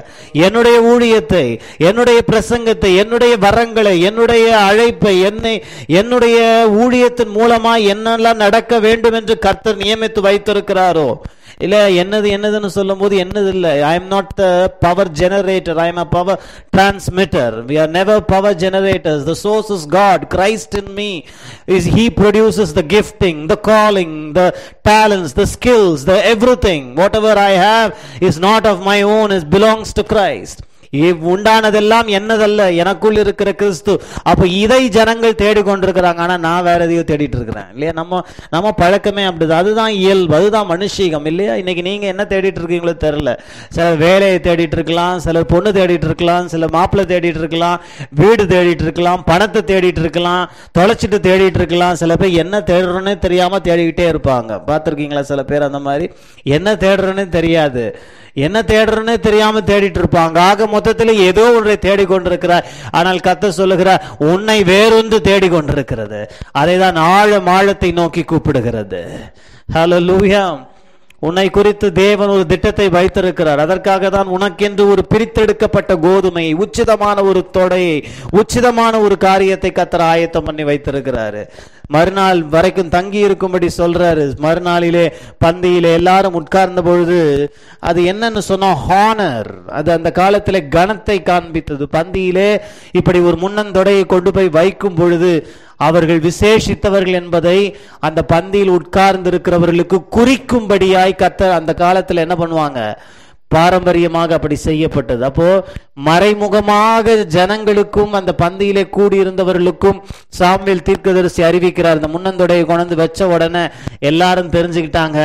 ஓ ஈவந்தா தான் தேசத்தின் மேல் ராஜாவா இருக்கும்படி கத்த தெரிந்து கொண்டவன் என்று தெரிந்து என்று ஜனங்கள் அறிந்து கொண்டது போல உன்னையும் தேவன் இந்த உலகத்திற்கு அறிமுகப்படுத்த போகிறார். மறைந்திருக்கிற கழுதையை தேடிக்கொண்டிருக்கிற காணாமல் போய்விட்டு தொலைந்து போனதை தேடிக்கொண்டிருக்கிற உன்னை தேவன் மகிமையாய் அறிமுகப்படுத்த போகிறாரு. இல்லையா இன்னைக்கு இன்ட்ரடக்ஷன் இல்லையா இன்- இன்னைக்கு உங்களுக்கு அவ்விதமான ஒரு இன்ட்ரடக்ஷனை தேவன் வச்சு வச்சிருக்கிறாரு. விசுவாசிங்க அதுதான் உச்சிதமான கோதுமை. அதுக்கப்புறம் சவுளுடைய வாழ்க்கையே மாறுச்சு. வரும்பொழுது கழுதையை தேடிக்கொண்டு வந்த இருதயம் இப்பொழுது போகும் பொழுது கழுதையை தேடிக்கொண்ட இருதயமாய் அல்ல. ராஜாவின் இருதயமாய் மாற்றப்பட்டவனாய் போனான். வேதம் சொல்லுகிறது சவுலை சவுல் சாம்வேலை விட்டு போகும்படி திரும்பின பொழுது அவன் வேறே ஆவியாய் வேறு இருதயம் உள்ள மனுஷனாய் மாறினான். ஹalleluya just think about it இல்லையா? கழுதையை தேடிக்கொண்டிருந்த இருதயம் இப்ப ராஜாவின் இருதயமாய் மாறினது. ரொம்ப அருமையான விஷயம். கத்தர் நம்முடைய வாழ்க்கையிலும் அப்படி கத்தர் சில விஷயங்களை செய்ய போகிறார். இப்போ கோதுமையை விட்டுருவோம். அடுத்தது உச்சிதமான கோதுமை மாத்திரமல்ல கண்மலையின் தேன். பர்சுத்தாவியானவர் எனக்கு கொடுத்த விளக்கத்தை நான் உங்களோடு பகிர்ந்து கொள்கிறேன். இந்த தேன் கண்மலையின் தேன் என்று சொல்லும் பொழுது அது எதை காண்பிக்குதுன்னு சொன்னா ஒரு விஷயம் நமக்கு எட்டாத வரைக்கும் இல்லையா? ஒரு விஷயம் நமக்கு எட்டாத வரைக்கும் அந்த திராட்சை கொலை எப்படி தான் இருக்கும்? புளிக்கும். இந்த கதை கேட்டிருக்கீங்களா? அந்த கதையை நான் திருப்ப சொல்ல வேண்டிய அவசியம் இருக்கா? இல்லை த ஃபாக்ஸ் அண்ட் த சா கிரேப்ஸ் அந்த குள்ள நிறைய என்ன பண்ணுச்சான் அந்த திராட்சை பழங்களை சாப்பிடும்படி எட்டி எட்டி பார்த்துதான். ஆனால் அந்த திராட்சை பழம் எட்டாமல் போகும்போது அது சலித்து போய் அங்கே பக்கம் என்ன சொல்ல ஆரம்பிச்சிச்சான் அது புளிச்ச திராட்சைன்னு சொல்லிட்டு போச்சான் அதே மாதிரி தான் நமக்கும் எட்டாத சில விஷயங்கள் உண்டு. இருக்கா இல்லையா? நமக்கும் சில எட்டாத உயரங்கள் இருக்கிறது. நம்மால் எட்டி பிடிக்க முடியாத சில விஷயங்கள் இருக்கிறது. அதே மாதிரிதான் எட்டாத உயரத்திலே தேனை கத்தர் வைத்திருக்கிறாரு. ஆனால் எட்டாத உயரத்தில் இருக்கிறதை கர்த்தர் என்ன பண்ண போகிறார்? நமக்கு தந்தரல போகிறாரு. அப்போ இது எனக்கு எப்படி காண்பிக்கிறார் என்று சொன்னால் உனக்கு அறியாதும் எட்டாதுமான பெரிய காரியங்களை நான் காண்பிப்பேன். அறியாதும் எட்டாதுமான பெரிய காரியங்களை கத்த நமக்கு என்ன செய்ய போகிறாரு? வரும் நாட்களிலே காண்பிக்க போறாருன்னா இது தரிசனத்துல காண்பிப்பார் உன் வாழ்க்கையில கத்தர் காட்ட போறாரு. Things which are unreachable and out of reach அது மாத்திரமல்ல இந்த தேன் எங்கே இருக்கு பாருங்க. பொதுவாக தேன் எங்கே இருக்கும்? எங்கே ஆரம்பிக்கிறது? மலர்களில் பூக்களில் தான் இருக்கும். ஆனால் இந்த தேன் இப்போ எங்கே இருக்குது? பூக்கள்ல இருந்து இருக்குது இருக்கு. காண்டவர் சொன்னார் கடினமான சூழ்நிலைகளிலிருந்து உனக்கு இனிமை பிறப்பிக்க போகிறது. Out of a flinty rock out of a hard rough very tough நான் சொல்கிறத உங்களால் புரிஞ்சு கொள்ள முடியுதா? இந்நேரத்துக்கு நீங்கள் ஸ்மார்ட் பீப்புள் புரிஞ்சிட்டு இருப்பீங்க. வாழ்க்கை எப்படி இருக்குது இன்றைக்கி கஷ்டமாக இருக்குது வாழ்க்கை கடினமாக இருக்குது வாழ்க்கை மோசமாக இருக்குது. ஆனால் அந்த கண்மலை அந்த கண்மலையிலிருந்து உனக்கு தேன் உண்டாக போகிறது. லைஃப் யாருக்குமே ஈஸி இல்லைங்க. எல்லாருடைய வாழ்க்கை நீங்கள் நாம் வெளித்தோற்றத்தின்படி பார்த்து யாரையும் ஜட்ஜ் பண்ணிடலாம் அவங்களுக்கு என்ன இது இருக்குது அது இருக்குது அப்படி இருக்காங்க இப்படி இருக்காங்கன்னு சொல்லி யாருடைய வாழ்க்கையும் வெளிதான வாழ்க்கை அல்ல. அவரவர் வாழ்க்கை அவரவர்கள் அழைக்கப்பட்ட அழைப்பிலே நிற்போமே ஆனால் அந்த கிருவை நமக்கு உதவும். அதுலேயும் பிரச்சனை என்னன்னா வாழ்க்கையே ஏற்கனவே கஷ்டமா இருக்குது. நம்மை கத்தர் அழைத்த அழைப்பில் நிற்காம போகும்போது தான் பெரிதான ஆபத்திற்குள் நாம் சிக்கிக்கொள்கிறோம் அதனால தான் பவுல் சொல்கிறார் let each man stand in the occasion where with God as called மெபேசியர் நான்கு ஒன்று. அவனவன் அழைக்கப்பட்ட அழைப்பிலே தங்கி இரு கத்தர் உன்னை என்னத்திற்காக அழைத்தார். உன்னை என்னத்திற்காக அழைச்சார். ஹஸ்பண்டா அழைக்கும்படி அழைத்திருக்கிறார். அதில் தங்கியிரு. இரு ஒய்ஃபா இருக்கும்படி அழைச்சிருக்கிறார் அதெல்லாம் அழைப்பு தான். சில பேர் அஞ்சு அழைப்பை தான் பெரு பெரிதுபடுத்துறாங்க. கிடையாது. It's it's totally unscriptural unbalanced thinking எப்பவுமே ஒரு சமநிலை பிரமாணம் இருக்கணும். அப்படியே ஒரு எக்ஸ்ட்ரீமுக்கு போயிடக்கூடாது. எல்லாரும் பவுலே சொல்கிறார் எல்லாரும் அப்போஸ்டர்களாக இருக்கும்படி அழைக்கப்பட்டிருக்கிறார்களா? எல்லாரும் தீர்க்கதரிசிகளா? இல்லை. ஆனால் நீங்கள் எப்படி எப்போ ஷைன் பண்ண முடியும்னா கத்தர் உங்களை எதற்காக அழனி உன்னை டாக்டராக அழைச்சிருக்கிறாரா? அதை விட உச்சிதமான காலிங் வேற ஒன்றும் இல்லை. நீ அதில் நிற்கும் வரைக்கும். நீ டாக்டராக இருக்கிறவன் இன்ஜினியராக ஆக நினைக்கும் போது தான் பிரச்சனை வருது. ஏன்னா வாழ்க்கையே ஏற்கனவே கஷ்டம். இப்போ நீ என்ன பண்ணுற உனக்குரிய உன்னை கர்த்தர் ஒரு மருத்துவனாக இருக்கும்படி அழைத்திருக்கிறாரு. நீ அதை விட்டுட்டு கட்டண வேற ஒரு இன்ஜினியர் தொழிலுக்கு அழைக்கப்படாத ஒரு விஷயத்தை நீ செய்ய போகும் பொழுது ஏற்கனவே இந்த உலகத்தில் உபத்திரம் உண்டு. ஏற்கனவே இந்த உலகத்தில் பிரச்சனை உண்டு. ஏற்கனவே நமக்கு ஒரு எதிராளியாகிய பிசாசானவன் வேற ஒருத்தன் எதிர்ப்பு எதிர்க்கும்படி நம்மோடு போராடி கொண்டிருக்கிறான். இது போதாத குறைக்கு நாம கொடுக்கப்பட்ட கிருபையை விட்டுவிட்டு கொடுக்கப்படாத வேறொரு கிருபையிலே நாம் நடக்க ஆரம்பிக்கும் பொழுது என்ன நடக்கும்? வாழ்க்கை கஷ்டமா இல்ல கடினமா இல்ல டபுள் கஷ்டம் ட்ரிபிள் கஷ்டம் கடினமா மாறிவிடுது. அதனால தான் சிலருடைய வாழ்க்கை ரொம்ப மோசமா போறதுக்கு காரணம் அதுதான். பரிசுத்தாவியானவர்களோடு பேச வேண்டும் இதில் இந்த இதற்கு மேலாக சிக்க இருக்க முடியாது. உன்னு உனக்கு மன தெளிவை தேவன் தந்தரல வேண்டும். அதனால தான் யாரும் யாரையும் பார்க்கவும் கூடாது யாரோடும் யார் தன்னை ஒப்பிடவும் கூடாது. அவர் அவர் அழைக்கப்பட்ட அழைப்பில் என்னுடைய அழைப்பு இதுதான் என்று சொன்னால் இதிலே வெற்றியோ தோல்வியோ ஏற்றமோ இறக்கமோ உள்ளதோ இல்லதோ இதிலே நான் நிலைத்திருக்கும் பொழுது பொய்யான மாயை பின்பற்றுகிறவர்கள் தங்களுக்கு அளிக்கப்படும் கிருபையை போக்கடிக்கிறார்கள். கிருபையை போக்கடிக்க முடியும். போக்கடிக்கிறதுலாம் சுத்த தமிழெல்லாம் புரியுறதில்ல ஜனங்களுக்கு. போக்கடிக்கிறதுனா என்ன? வீணாக்குறது. வேஸ்ட் கிருபையை வேஸ்ட் பண்ண முடியுமா? பைபிள் தான் சொல்லுது வேஸ்ட் பண்ண முடியும். எப்போ? பொய்யான மாயை பின்பற்றும் பொழுது அந்த பொய்யான மாயை பற்றி தான் இவ்வளோ நேரம் நான் விவரித்தேன். உன்னை அழைக்கப்படாத விஷயத்தை நீ செய்ய முற்படும் பொழுது பொய்யான மாயை நீ பின்பற்றுகிற உனக்கு அளிக்கப்படுகிற கிருபை நீ என்ன செய்கிற? வேஸ்ட் ஆக்குகிற. பவுல் சொல்கிறாரு பாருங்க கலாத்தியர் ரெண்டு கடைசி வசனங்கள்ல I don't not frustrate the grace of God as grace can be frustrated சிலர் இதெல்லாம் யோசிக்கிறது இல்லை எல்லாம் தேவனால் எல்லாம் ஆகும் ஆமாம் தேவனால் எல்லாம் ஆகும் உன்னால் ஆகாது. பிரச்சனை அங்கே தானே? தேவன் செய்ய நினைத்தது தடைப்படாது இல்லையே தடைப்படுமே. அங்கே தான் பிரச்சனை இருக்குது. சிலர் அதுதான் விதண்டாவாதம் பேசுறதுக்கும் ஓவர் மிஞ்சின நீதிமானாக மிஞ்சின ஞானியாக மாறிடுறாங்க. கத்தரால் செய்ய முடியாது. ஒன்றும் ஒன் கத்தரால் செய்ய முடியாத விஷயங்கள் ஒன்றும் இல்லை தான் ஆனால் நீ நான் நினச்சேன்னா தடை பண்ணிடலாம் நீ நினச்சனா தடை பண்ணிடலாம் சவுல் தடை பண்ணினான். அதனால சவுளை தேவன் விளக்கிட்டு வேற அதாவது நம் இந்த பூமியிலே கர்த்தர் நம்முடைய கையிலே அதிகாரத்தை கொடுத்துருக்கிறாரு. அதை தீமைக்கோ நன்மைக்கோ பிரயோஜனப்படுத்துகிறது நம்முடைய கையில் இருக்கு. உங்களுக்கு தெரிலனா நூற்றி பதினைந்தாம் சங்கீதத்தை வீட்டில் உட்காந்து வாசித்து பாருங்க. மனுபுத்திரனிடத்திலே உலகத்தை கத்தர் கொடுத்துட்டாரு.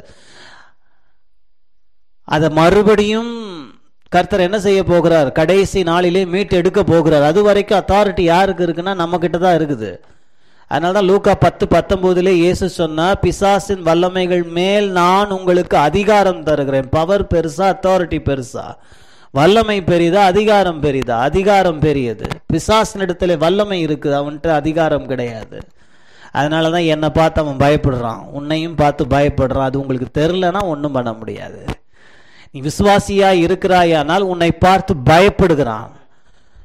Hallelujah he has power but he does not have authority ஒரு மனுஷன்ட்ட எல்லா பவரும் கொடுக்கலாங்க. கொடுத்துட்டு அவனை நீங்கள் பார்த்து சொல்ல எல்லா பவரும் கொடுக்குறேன். ஆனால் ஒரு ஒரு செக்கும் சைன் பண்ணுறதுக்கு நீ என்கிட்ட தான் வந்து நிற்கணும்னா அவனுக்கு நீ என்ன பவர் கொடுத்தும் பிரயோஜனம் இல்லை. ஒன்று ஒன்றுத்துக்கும் அவங்ககிட்ட தான் வந்து நிற்கணும் பிசாஸ் அதே மாதிரி தான் என்னை அழிக்கணும்னா அவன் என்கிட்ட தான் வந்து ஆகணும். நான் அவனுக்கு பர்மிஷன் கொடுத்தால் ஒழி அவன் என்னை அழிக்க முடியாது. அதனால தான் நான் வந்து சில விஷயங்களை நான் சில சொல்லும் பொழுது நான் அதை ஏற்றுக்கொள்றது இல்லை பிசாஸ் அப்படி செஞ்சுட்டான் இப்படி செஞ்சுட்டான். எல்லாம் செய்வான் கரெக்ட் நம்ம இடம் கொடுத்தால் ஒழிய அவனால் ஒன்றும் செய்ய முடியாது. அதனால தான் வேதம் சொல்லுகிறது அவனுக்கு இடம் கொடாதிருங்கள். அப்படியும் செய்கிறானா ஒன்று நீ விசுவாசி இல்லைன்னு அர்த்தம். நீ விசுவாசியா இல்லாமல் இருப்பாயானால் உன்மேல் அவனுக்கு முழு அதிகாரம் இருக்கிறது. எபேசியர் இரண்டாம் அதிகாரம். ஆனால் நான் விசுவாசியாய் மாறின பின்பு நான் கொடுத்தால் ஒழிய அவனுக்கு என் வாழ்க்கையில இம்மி அளவு கூட அதிகாரம் கிடையாது. ஹலலூயா அதனால தான் வேதம் சொல்லுகிறது சகல வல்லமைகளின் மேலும் எனக்கு அதிகாரம் இருக்கிறது. நான் அதை அடிக்கடி உங்களுக்கு ஜோக்கா சொல்லியிருக்கேன் சில பேர் மாற்றிப்பாங்க இல்லை இல்லை இது மலையாள மந்திரம் இது அந்த மந்திரம். உன் விசுவாசம்படி உனக்கு ஆக கிடவுது சகல அதிகாரம்னு சொன்னால் எல்லா சகல வல்லமைகள்னு சொன்னால் எல்லா வல்லமைகளின் மேலும் கத்த நமக்கு என்ன கொடுத்துருக்கிறாரு? அதிகாரம் கொடுக்கும் நீ அதை மு- நூறு தரம் நூறு சதவீதம் சந்தேகப்படாமல் நீ விசுவாசிக்கும் பொழுது உன் வாழ்க்கையில நடக்கிற. அப்போ இன்னைக்கு இங்க ஆண்டவர் சொல்ற கண்மலையிலிருந்து தேன். அப்படின்னு சொல்லும்போது கஷ்டமான ஒரு வாழ்க்கை. எத்தனை நேரம் நம்முடைய குடும்ப வாழ்க்கை கஷ்டமாக இருக்குது? எத்தனை நேரம் நம்முடைய ஆஃபீஸ் காரியங்கள் கஷ்டமாக இருக்கிறது? எத்தனை நேரங்கள் ஊழியம் கஷ்டமாக இருக்கிறது? இல்லையா?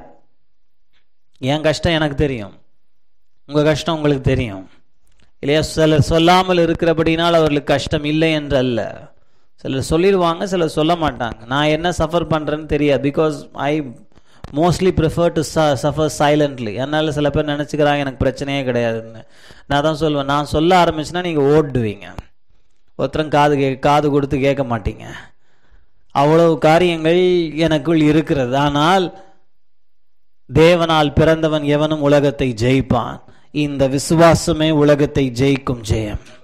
அதையே நம்ம மாற்றிட்டோம் ஜெபமே ஜெயம்னு மாத்திட்டோம். இல்லை விசுவாசம் தான் ஜெயம்.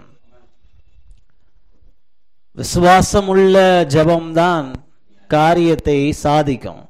நாம அதை எடுத்துட்டு மாத்திட்டு ஜெபமே ஜெயம்னு போட்டோம். ஜெபமே ஜெயம்ன்றது வசனமே கிடையாது தெரியுமா? ஜெபமே ஜெயம் என்பது நான் யாரோ ஒரு மனுஷன் கோத்து காயின் பண்ண வேர்ட் தப்பு இல்லை. ஜெபமே ஜெயம் என்று ஒரு வசனமே கிடையாது. விசுவாசமே உலகத்தை ஜெயிக்கும் ஜெயம் என்பது வசனம். அது தப்புன்னு நான் சொல்ல வரல.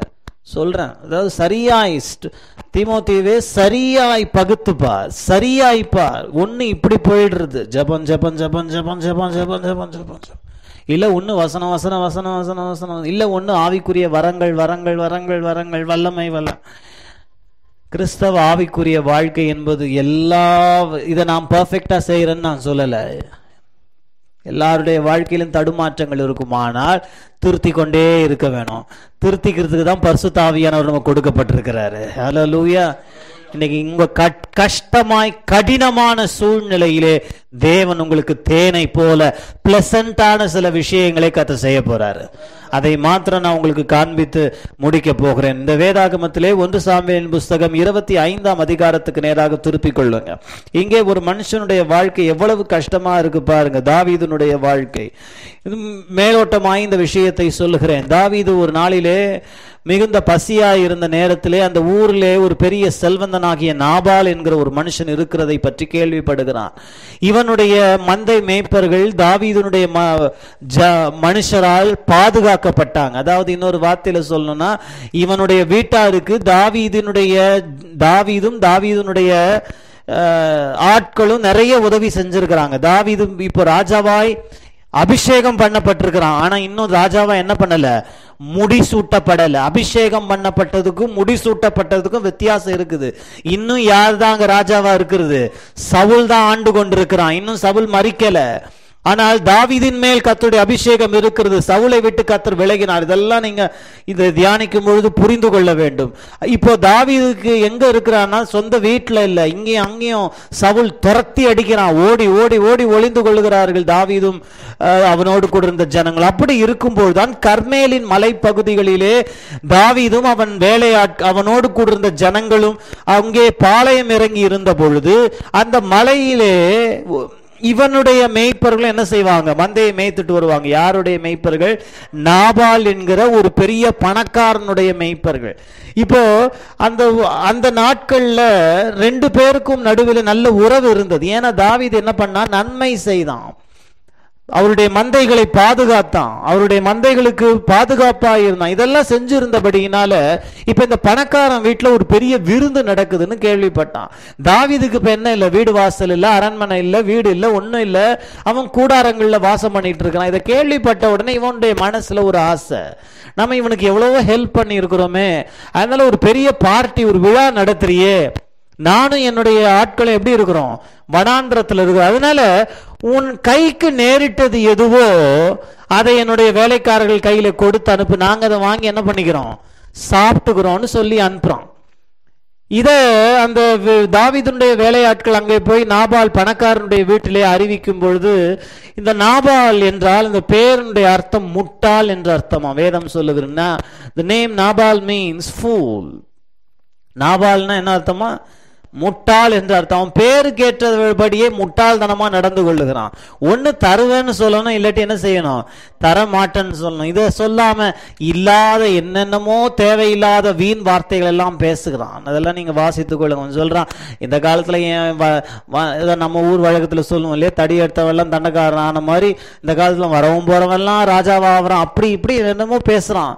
பேசி அவர்களை அவமானப்படுத்தி அவர்களை கேவலப்படுத்தி ஒன்றும் தராம பிச்சைக்காரர்களைப் போல நடத்தி வெளியே அனுப்புகிறான். இப்போது தாவிதனுடைய மனுஷர்கள் இதை வந்து அறிவித்த உடனே தாவீதுக்கு இப்ப என்ன ஆயிடுது? கோவம் வந்துடுது. கோவம்னா கொஞ்ச நஞ்சமான கோவம். இல்லை அவன் சூளுரைக்கிறான் நாளை தினம் இந்த நேரத்துக்குள்ள அவன் வீட்டில் ஒருத்தனும் என்ன செய்ய மாட்டான்? உயிரோடு இருக்க மாட்டான்னு சொல்லி தன் வேலையாட்களை கூட்டி கொண்டு புறப்படுகிறான். இதுதான் சம்பவம். இப்போ இதில் எங்க தேன்? அதை தான் நாம பார்க்க போறோம். இல்லையா? இப்போ இங்கே இதை இதை ஏன் நான் சொல்லிட்டேன்னா முதல்ல நாம் ஒரு வசனத்தை வாசிக்கணும். இருபத்தி ஐந்தாம் அதிகாரம் முதல் வசனத்தை வாசியுங்கள். போதும். இதெல்லாம் எப்ப நடக்குதுன்னா சாமுவேல் மரித்த பின்பு. இங்க தான் மென்டர்ஷிப் என்பது ரொம்ப முக்கியம். ஏன் பரிசுத்த ஆவியானவர் இந்த சம்பவத்தை எழுதும் முன்பதாக இந்த வார்த்தையை எழுதுகிறார் பாருங்க. அண்ட் சாமுவேல் டைட் அப்படின்னு போட்டு தான் இந்த சம்பவத்தை ஆரம்பிக்கிறாரு. சாமுவேல் மறித்த பின்பு அப்படின்னா என்ன அர்த்தம்? சாமுவேல் உயிரோடு இருந்த வரைக்கும் தாவீதனுடைய வாழ்க்கை தீர்க்கதரிசியாகிய சாமுவேலோடு கூட இசைந்திருந்தது. பாஸ்டரோடு கூட இசைந்து நடந்தான். பாஸ்டருடைய ஆலோசனைகளை கேட்டு நடக்கிறான். பா ஊழியக்காரனுடைய தலைமைத்துவத்திற்கு தன்னை ஒப்புவித்து ஆலோசனை கேட்டு ஆறுதல் பெற்று யோசனைகள் கேட்டு தன்னுடைய உணர்ச்சிகளை கட்டுப்படுத்த என்னெல்லாம் பண்ணணுமோ தா சாமுவேல் உயிரோடு இருந்த வரைக்கும் தாவீதனுடைய வழி தடம் புரளவில்லை. ஆனால் தாவீது சாமுவேல் மறித்த உடனே இப்ப தாவீதுக்கு இதுவரைக்கும் வராத கோபம் வருது பாருங்க. அப்போ இதுலேருந்து என்ன கற்றுக்கொள்ளுகிறோம்னு சொன்னால் இதே பிரின்சிபிள் தான் புதிய ஏற்பாட்டிலையும் வருகிறது. மென்டர்ஷிப் சீஷத்துவம். குரு சீஷத்துவ முறை என்பது புதிய ஏற்பாட்டிலே மாற்றப்படவில்லை அது இன்னும் அதிகமாய் வலியுறுத்தப்படுகிறது. அதுதான் எபிரேயர் பதிமூன்றாம் அதிகாரத்தில் ரெண்டு வசனங்கள் மாற்றி மாற்றி அடுத்தடுத்து கொஞ்சம் கொஞ்சம் இடைவெளியில் அவர் சொல்றாரு பாருங்க எபிரேயரை எழுதினவர் சொல்றாரு obey them that have rule over you உன்மேல் ஆளுகை உள்ள தலைவர்களுக்கு நீ என்ன பண்ணு? அடங்கி நட. இன்னொரு அதுக்கு இன்னொரு ரெண்டு மூணு வசனம் எழுதிட்டு சொல்ல. சப்மிட் யோர் செல்ஸ் அவர்களுக்கு அடங்கி நட. ஏனென்றால் அவர்கள் உன் ஆத்மாவுக்கு உத்தரவாதம் பண்ணுகிறபடியினால் உன் ஆத்மாக்கள் மேல் விழித்திருந்து ஜாக்கிரதையா இருக்கிறபடியினால். அப்பனா இது எல்லாம் என்னத்தை காண்பிக்குதுன்னு சொன்னா புதிய ஏற்பாட்டு சபை நியமிக்கப்பட்ட பின்பும் கூட தேவன் என்ன பண்ணுகிறாருன்னா ஒரு மந்தையை ஜனங்களை ஆத்துமாக்களை தேவன் மேய்த்து நடத்தும்படி தலைவர்களின் கையிலே தேவன் ஒப்பு கொடுக்கிறார் நடத்தும்படி ஆளுகை செய்யும்படி அல்ல. நாட் ஃபார் லார்ட்ஷிப் ஏய் நான் சொல்றதா நீ கேட்கணும் உட்காரு எழுந்திரி. அதுவல்ல அது சரியான ஊழியம் கிடையாது. அப்படிப்பட்ட சீசுவம் சீசத்துவத்தை பத்தி நான் சொல்லல. நல்ல வழியிலே ஹலோ லூயா செம்மையான வழியில். இங்கே பாருங்க மறித்த உடனே அவன் வாழ்க்கை தடம் புரளுகிறது நான் நான் என்னுடைய தாழ்மையான அபிப்பிராயத்தின்படி ஒருவேளை தாவி சாம்வேல் தீர்க்கதரிசி உயிரோடு இருந்திருப்பாரே ஆனால் நான் விசுவாசிக்கிறேன் தாவிது இந்த வீணா போற சாப்பாட்டை கூட கேட்டிருக்க மாட்டான். ஆனா இப்போ ஐயா இல்ல. இப்ப ஆசை வருது. தலைவர் இல்ல. ஆவிக்குரிய தலைவன் இல்ல. இப்ப வேண்டாத ஆசை. கே அது ஒன்றும் பெரிய ஆசை இல்லைங்க. சாப்பாடு கேட்டேன் அவ்வளவுதான். ஆனால் நான் என்னுடைய விசுவாசம் என்னென்னா உயிரோடு இருந்திருந்தா சாம்வேல் தீர்க்கதரிசி ஒருவேளை அதை கூட செய்யாதுன்னு சொல்லி இருப்பாரோ என்று நான் எதிர்பார்க்கிறேன். என்று நான் நினைக்கிறேன். வாய்ப்பு இருக்கு. நீங்க இல்லைன்னு சொல்ல முடியாது ஆமான்னு சொல்ல முடியாது. ஏன்னா கர்த்தருடைய தாசர்கள் அருமையாய் நடத்துவார் கர்த்தருடைய தாசர்கள் நல்ல ஆவிக்குரிய தலைவர்கள் மனுஷர்களை நம்பி வாழும்படி யாருக்கும் கற்றுத் தர மாட்டாங்க. நல்ல கர்த்தருடைய தாசர்கள் கத்தரை பார்க்க சொல்லுவாங்க. ஆனா இங்க தாவிதனுடைய கண்கள் மனுஷன் மேல போகுது. அவன் செய்வானா இவன் செய்வானா அவன் உதவி செய்வானா இந்த பணக்காரன் உதவி செய்வானா.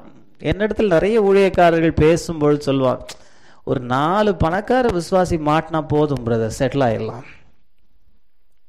சூப்பர் ரொம்ப அருமையான சித்தாந்தம். நீங்க டாப்ல வருவீங்க பிரதர் அப்படியா பிரதர் ஆமா டாப்ல வருவீங்க. போங்க. எனக்கு தெரியும் அவங்க அடி கீழ்ப்படியை கூட கீழ் லேடரில் கீழ்ப்படி கூட தாண்ட மாட்டாங்கன்னு தெரியும். ஏன்னா உன் கண் ஒத்தாசை வரும் பர்வதங்களுக்கு நேராக இல்லை. ஹெஃப்டி கவர் மேலே இருக்குது. இல்லை பெரிய எழுத்து செக்கு மேலே இருக்குது. ஆண்டவர் மனுஷனை கொண்டு தானே பிரதர் நடத்துவார்? உண்மைதான். நூற்றுக்கு நூற்றி பத்து சதவீதம் மனுஷரை கொண்டு தான் கத்த நடத்துவார். ஆனால் உன் கண்கள் ஒத்தாசை வரும் பர்வதங்களுக்கு நேராக ஏறெடுக்கப்படணும் அதுதான் நான் முதல்லயே சொன்னேன். அமெரிக்கா அமெரிக்கையும் நம்பிக்கையுமா இருப்பது தான் பலன். அமெரிக்காவின் மேல் நம்பிக்கையாக இருக்கக்கூடாது. ஐஸ்வர்யவானை அதனால தான் சொன்னேன் சாம்வேல் தீர்க்கதரிசி மரணம் அடைந்த உடனே இவனுடைய புத்தி மாறாட்டத்தை பாருங்க. தாவிது தான் கத்தருடைய இருதயத்திற்கு ஏற்ற தாசன் தான் கத்தரால் சாட்சி பெற்றவன் தான் ஆனால் தடம் புரளுகிறான் பாருங்க. இது மாம்சம். எல்லாருக்கும் வரும். அதான் நான் சொல்கிறேன் நான் பெர்ஃபெக்ட் இல்லை உலகத்தில் இருக்க எந்த ஊழியக்காரும் பர்ஃபெக்ட் ஆனால் கோர்ஸ் கரெக்ஷன் இங்கிலீஷில் ஒரு வார்த்தை சொல்லும். அதாவது கொஞ்சம் தடம் புரளும் பொழுது பர்சு தாவியான இல்லை இல்லை இல்லை இல்லை நீ தப்பு நீ தப்பு பண்ணுற ஆட்டிடியூட் சரியில்லை. உன்னுடைய யோசனை சரியில்லை. நீ இப்படி பிளான் பண்ணுற அது சரியில்லை மகனே. அதான் இப்படி சொல்லணும்னா ரொம்ப லெஃப்ட் வாங்குற கரெக்டாவா இல்லை இல்லை கொஞ்சம் ரைட் போயிட்ட கரெக்டா வா? இல்லை இல்லை இல்ல கரெக்டா அதான் கோர்ஸ் கரெக்ஷன் பசுத்தாவியானவர் தாவியானவர் உள்ள இருந்து சொல்லி கொண்டே இருப்பாரு. மனுஷனை பார்க்க ஆரம்பிச்சுட்ட. அவங்கள பார்க்க ஆரம்பிச்சுட்ட. இவங்க இந்த மாசம் கூட்டத்துக்கு கூப்பிடல. இவங்க அந்த மா நீங்க நினைக்கிறீங்களா? இந்த மாதிரிலாம் நிறைய ஊழியக்காரர்கள் இடத்துல எனக்கு வரும். கர்த்தருடைய ஆவியானவர் சாட்சி. சில நேரங்களில் பேசும்போது சொல்ல இந்த மாதம் கூப்பிடவே இல்லை பிரதர் ரொம்ப எதிர்பார்த்துட்டு இருந்தேன். அதான் கூப்பிடல. இந்த மாதம் அவங்களுக்கு பர்த்டே வரும் தெரியும் பிரதர் கூப்பிடுவாங்கன்னு பார்த்தோம் கூப்பிடவே இல்லை. அதான் கூப்பிடல. ஏன் தெரியுமா? ஒத்தாசை வரும் பர்வதங்களுக்கு நேராக அல்ல. உன் கண்கள் நல்ல நாட்கள் தீய நாட்கள் யார் கூப்பிடுவா? யார் கூப்பிட மாட்டா? உன்னை அழைத்தவர் அவர் முடிவு பரியந்தம் நடத்த வல்லவராயிருக்கிறார் அவரையே நோக்கி பாருங்க பாருங்க இந்த வேண்டாத வம்பு எங்க இருந்து வந்துச்சுன்னா ஃபோக்கஸ் மாறுச்சு. ஒரே ஒரு வார்த்தை சொன்னார். பேதுருவை பார்த்து வா. அவனுடைய எனக்கு பேதுரு ரொம்ப பிடிக்கும். நிறைய ஊழியக்காரங்க பேதுருவை கிரிட்டிசைஸ் பண்ணுவாங்க. நான் பண்ண மாட்டேன். ஏன்னா இயேசுக்கு அடுத்தபடி த- கடல்ல நடந்த ஒரே மனுஷன் வந்தாங்க எவ்வளவு தூரம் நடந்தான்? நான் பல தடவை சொல்லியிருக்கேன். நிறைய பேர் நினைக்கிறாங்க ரெண்டு அடி எடுத்து வச்சுட்டு உங்க உழுண்டான்னு நினைக்கிறாங்க. இல்ல நீ வேதத்தை சரியா வாசிச்சு பாரு. ஏசு அங்க இருக்கிறாரு. இவன் சொல்ற ஆண்டவரே நீரே ஆனால் நானும் நடந்து வர கட்டளையிடும். பன்னெண்டு பேர் உள்ள இருந்தான். பன்னெண்டுல ஒருத்தனுக்கும் அந்த தைரியம் வரல. உட்கார்ந்து குறை சொல்ல கிரிட்டிசைஸ் பண்ண புரணி பேச இல்லையா பரியாசம் பண்ண இல்லையா கிண்டல் அடிக்க நக்கல் அடிக்க இதுக்கெல்லாம் பதினோரு பேருக்கும் வாய் இருந்துச்சு. ஆனா ஒருத்தன் மாத்திரம் சொன்னா நீர் ஏசுவானா நானும் நடக்கணும். ஏன்டா இவ்வளவு கிரிட்டிசைஸ் பண்றீ? நீ இறங்கி நடக்கிறது தானே? ஒருத்தனுக்கும் துணிவு வரல. ஏசு என்ன சொன்னார்? அவனுக்கு ஒரு பெரிய டீச்சிங் எல்லாம் உட்காந்து உனக்கு நான் ஒரு பவர் மினிஸ்ட்ரி எடுக்கிறேன். எப்படி கடல் மேல் நடப்பது? ஒரு புஸ்தகம் போடுற ஒன்றும் போடல. ஒரே ஒரு வார்த்தை சொன்னார் வா. படகை விட்டு இறங்கினான். பேதுரு நடந்தான். எவ்வளவு தூரம் நடந்தான் தெரியுமா? நடந்தான் நடந்தான் நடந்தான் நடந்தான். இயேசுவின் அருகாமையில் போயிட்டான். இல்ல பிரதர் அப்படி போடல. நீ கண்ணை திறந்து வாசிச்சு பாரு. நான் சொல்லுகிறேன் இயேசுவின் அருகாமையிலே போனான் அதுக்கப்புறம் தான் உன்னுடைய கண்கள் அங்கும் மிங்கும் இந்த வீடா அந்த வீடா அந்த விசுவாசி கூப்பிடல இவங்க மீட்டிங் வைக்கல அவங்க எனக்கு அதை பண்ணல இவங்க இதை பண்ணல என்று அங்கேயும் இங்கேயும் பார்க்க ஆரம்பித்தான் மூழ்க ஆரம்பித்தான். அவன் சொல்லுகிறான் போதகரேன்னு சொன்னான் பாருங்க கையை நீட்டி தூக்கினார். அப்ப எவ்வளவு தூரம் இருந்தான் கை கெட்டும் தூரத்திற்கு வந்துட்டான். இன்னும் ரெண்டு அடி எடுத்து வச்சிருந்தான்னா இயேசுவின் பக்கத்தில் நின்றிருப்பான். Hallelujah don't criticise Peter அவனை போல யாரும் கடல்ல நடந்தவன் ஒருத்தனும் இல்லையே. பன்னெண்டுல ஒருத்தன் தானே நடந்தான். விழுந்தாங்க இல்லைன்னு சொல்லல. சரிந்தான் இல்லைன்னு சொல்ல நான் நடந்தானா நடக்கலையா? நீ விழுந்ததை பாக்குற நான் நடந்ததை பாக்குறேன் என்ன நான் என்ன பாக்குறேன்னா அவனாவது அவ்வளவு தூரம் நடந்தான். நான் நடந்தா எத்தனை அடி எடுத்து வச்சிருப்பேன் கூட எனக்கு தெரியாது. நீ நடப்பியா? சொல்லுங்க. வான்னு சொன்ன ஒரே ஒரு வார்த்தை. இங்கே சாமுவேல் மறித்தபடியினால் இவ்வளவு குழப்பம் நடக்குது. இவனுடைய கண்ணு திரும்பிடுச்சு. அபிகா அபிகாயிலுடைய குடும்பத்தின் மேல் பணக்கார குடும்பத்தை பார்க்க ஆரம்பித்து விட்டான். கேட்க அதனாலதான் அவமானம் வருகிறது. சில அவமானங்கள் நாமா தேடிக்கிறது. அப்புறம் கர்த்தரை நான் அவமானப்படுத்தினார்னு சொல்றது இல்லை. நான் இவனா தேடிக்கின வம்பு இது. ஏன்பா உன்னை இவ்வளவு நாள் நான் வனாந்திரத்தில் நடத்தலையா? சவுல் உன்னை வேட்டையாடினாலும் உனக்கு ஜனங்கள் கொண்டு வந்து கழுதைகளின் மேலும் கோவேறு கழுதைகளின் மேலும்.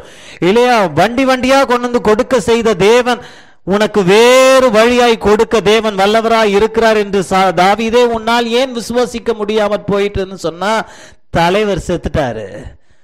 ஆவிக்குரிய ஐயா இப்ப இல்லை. ஆனா இன்னைக்கு நீங்களும் நானும் அந்த சாக்கு புசோ- சொல்ல கூட வாய்ப்பில்லை. ஏனென்றால் உன் போதகர்கள் இனி மறைந்து கொண்டு என்று சொன்ன வசனம் நம்முடைய வாழ்க்கையில தத்ரூபமா நிரூபி நடந்திருக்கா இல்லையா? நமக்கு ஒரு போதகர் இருக்கிறாரு. அவர் பேர் பரிசுத்தாவியானவர் அவர் மறைந்து கொண்டு இருப்பதில்லை உள்ளே இருந்து உன் பின்னாலே இருந்து நீ நடக்க வேண்டிய வழி இது என்று சொல்லிக்கொண்டே இருக்கிறாரு. இந்த வம்பு அவனா தேடிக்கினதுங்க. நாபால் பண்ணது தப்பு தான் ஆனால் தாவிது இது தேவையில்லாத வம்புக்குள்ளே பிரவேசிச்சான். இப்போ என்ன நடக்குதுன்னா இப்போ தாவிது ஒரு பக்கம் புறப்படுறான். ஒருத்த நாளை காலையில் உயிரோடு இருக்க முடியாதுன்னு புறப்படுறான். லைஃப் ரொம்ப கஷ்டமாக இருக்கு. இப்போ இந்த வார்த்தை அபிகாயிலுக்கு போகுது. வேதம் சொல்லுகிறது அபிகாயில் பார்க்க அழகி அழகாக இருந்தவள் மாத்திரமல்ல புத்திசாலியான பெண்மணி.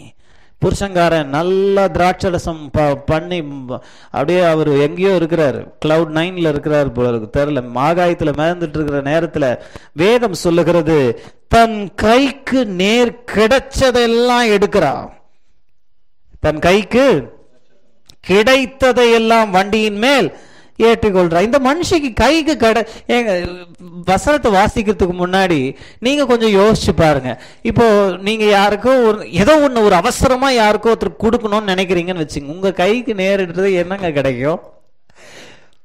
ஒரு கேரி பேக்ல போட்டு எடுத்து வ- எடுத்து எடுத்துட்டு வர அளவு கிடைக்குமா? அவ்வளோதான் அவ்வளவுதான் நம்மெல்லாம். இவ இவ கைக்கு கிடைச்சதெல்லாம் எவ்வளவு பாருங்க. இருபத்தி அஞ்சாம் அதிகாரத்துல பதினெட்டாம் வசனத்தை வாசிங்க. அபிகாயில் கொஞ்சம் நிறுத்துங்க.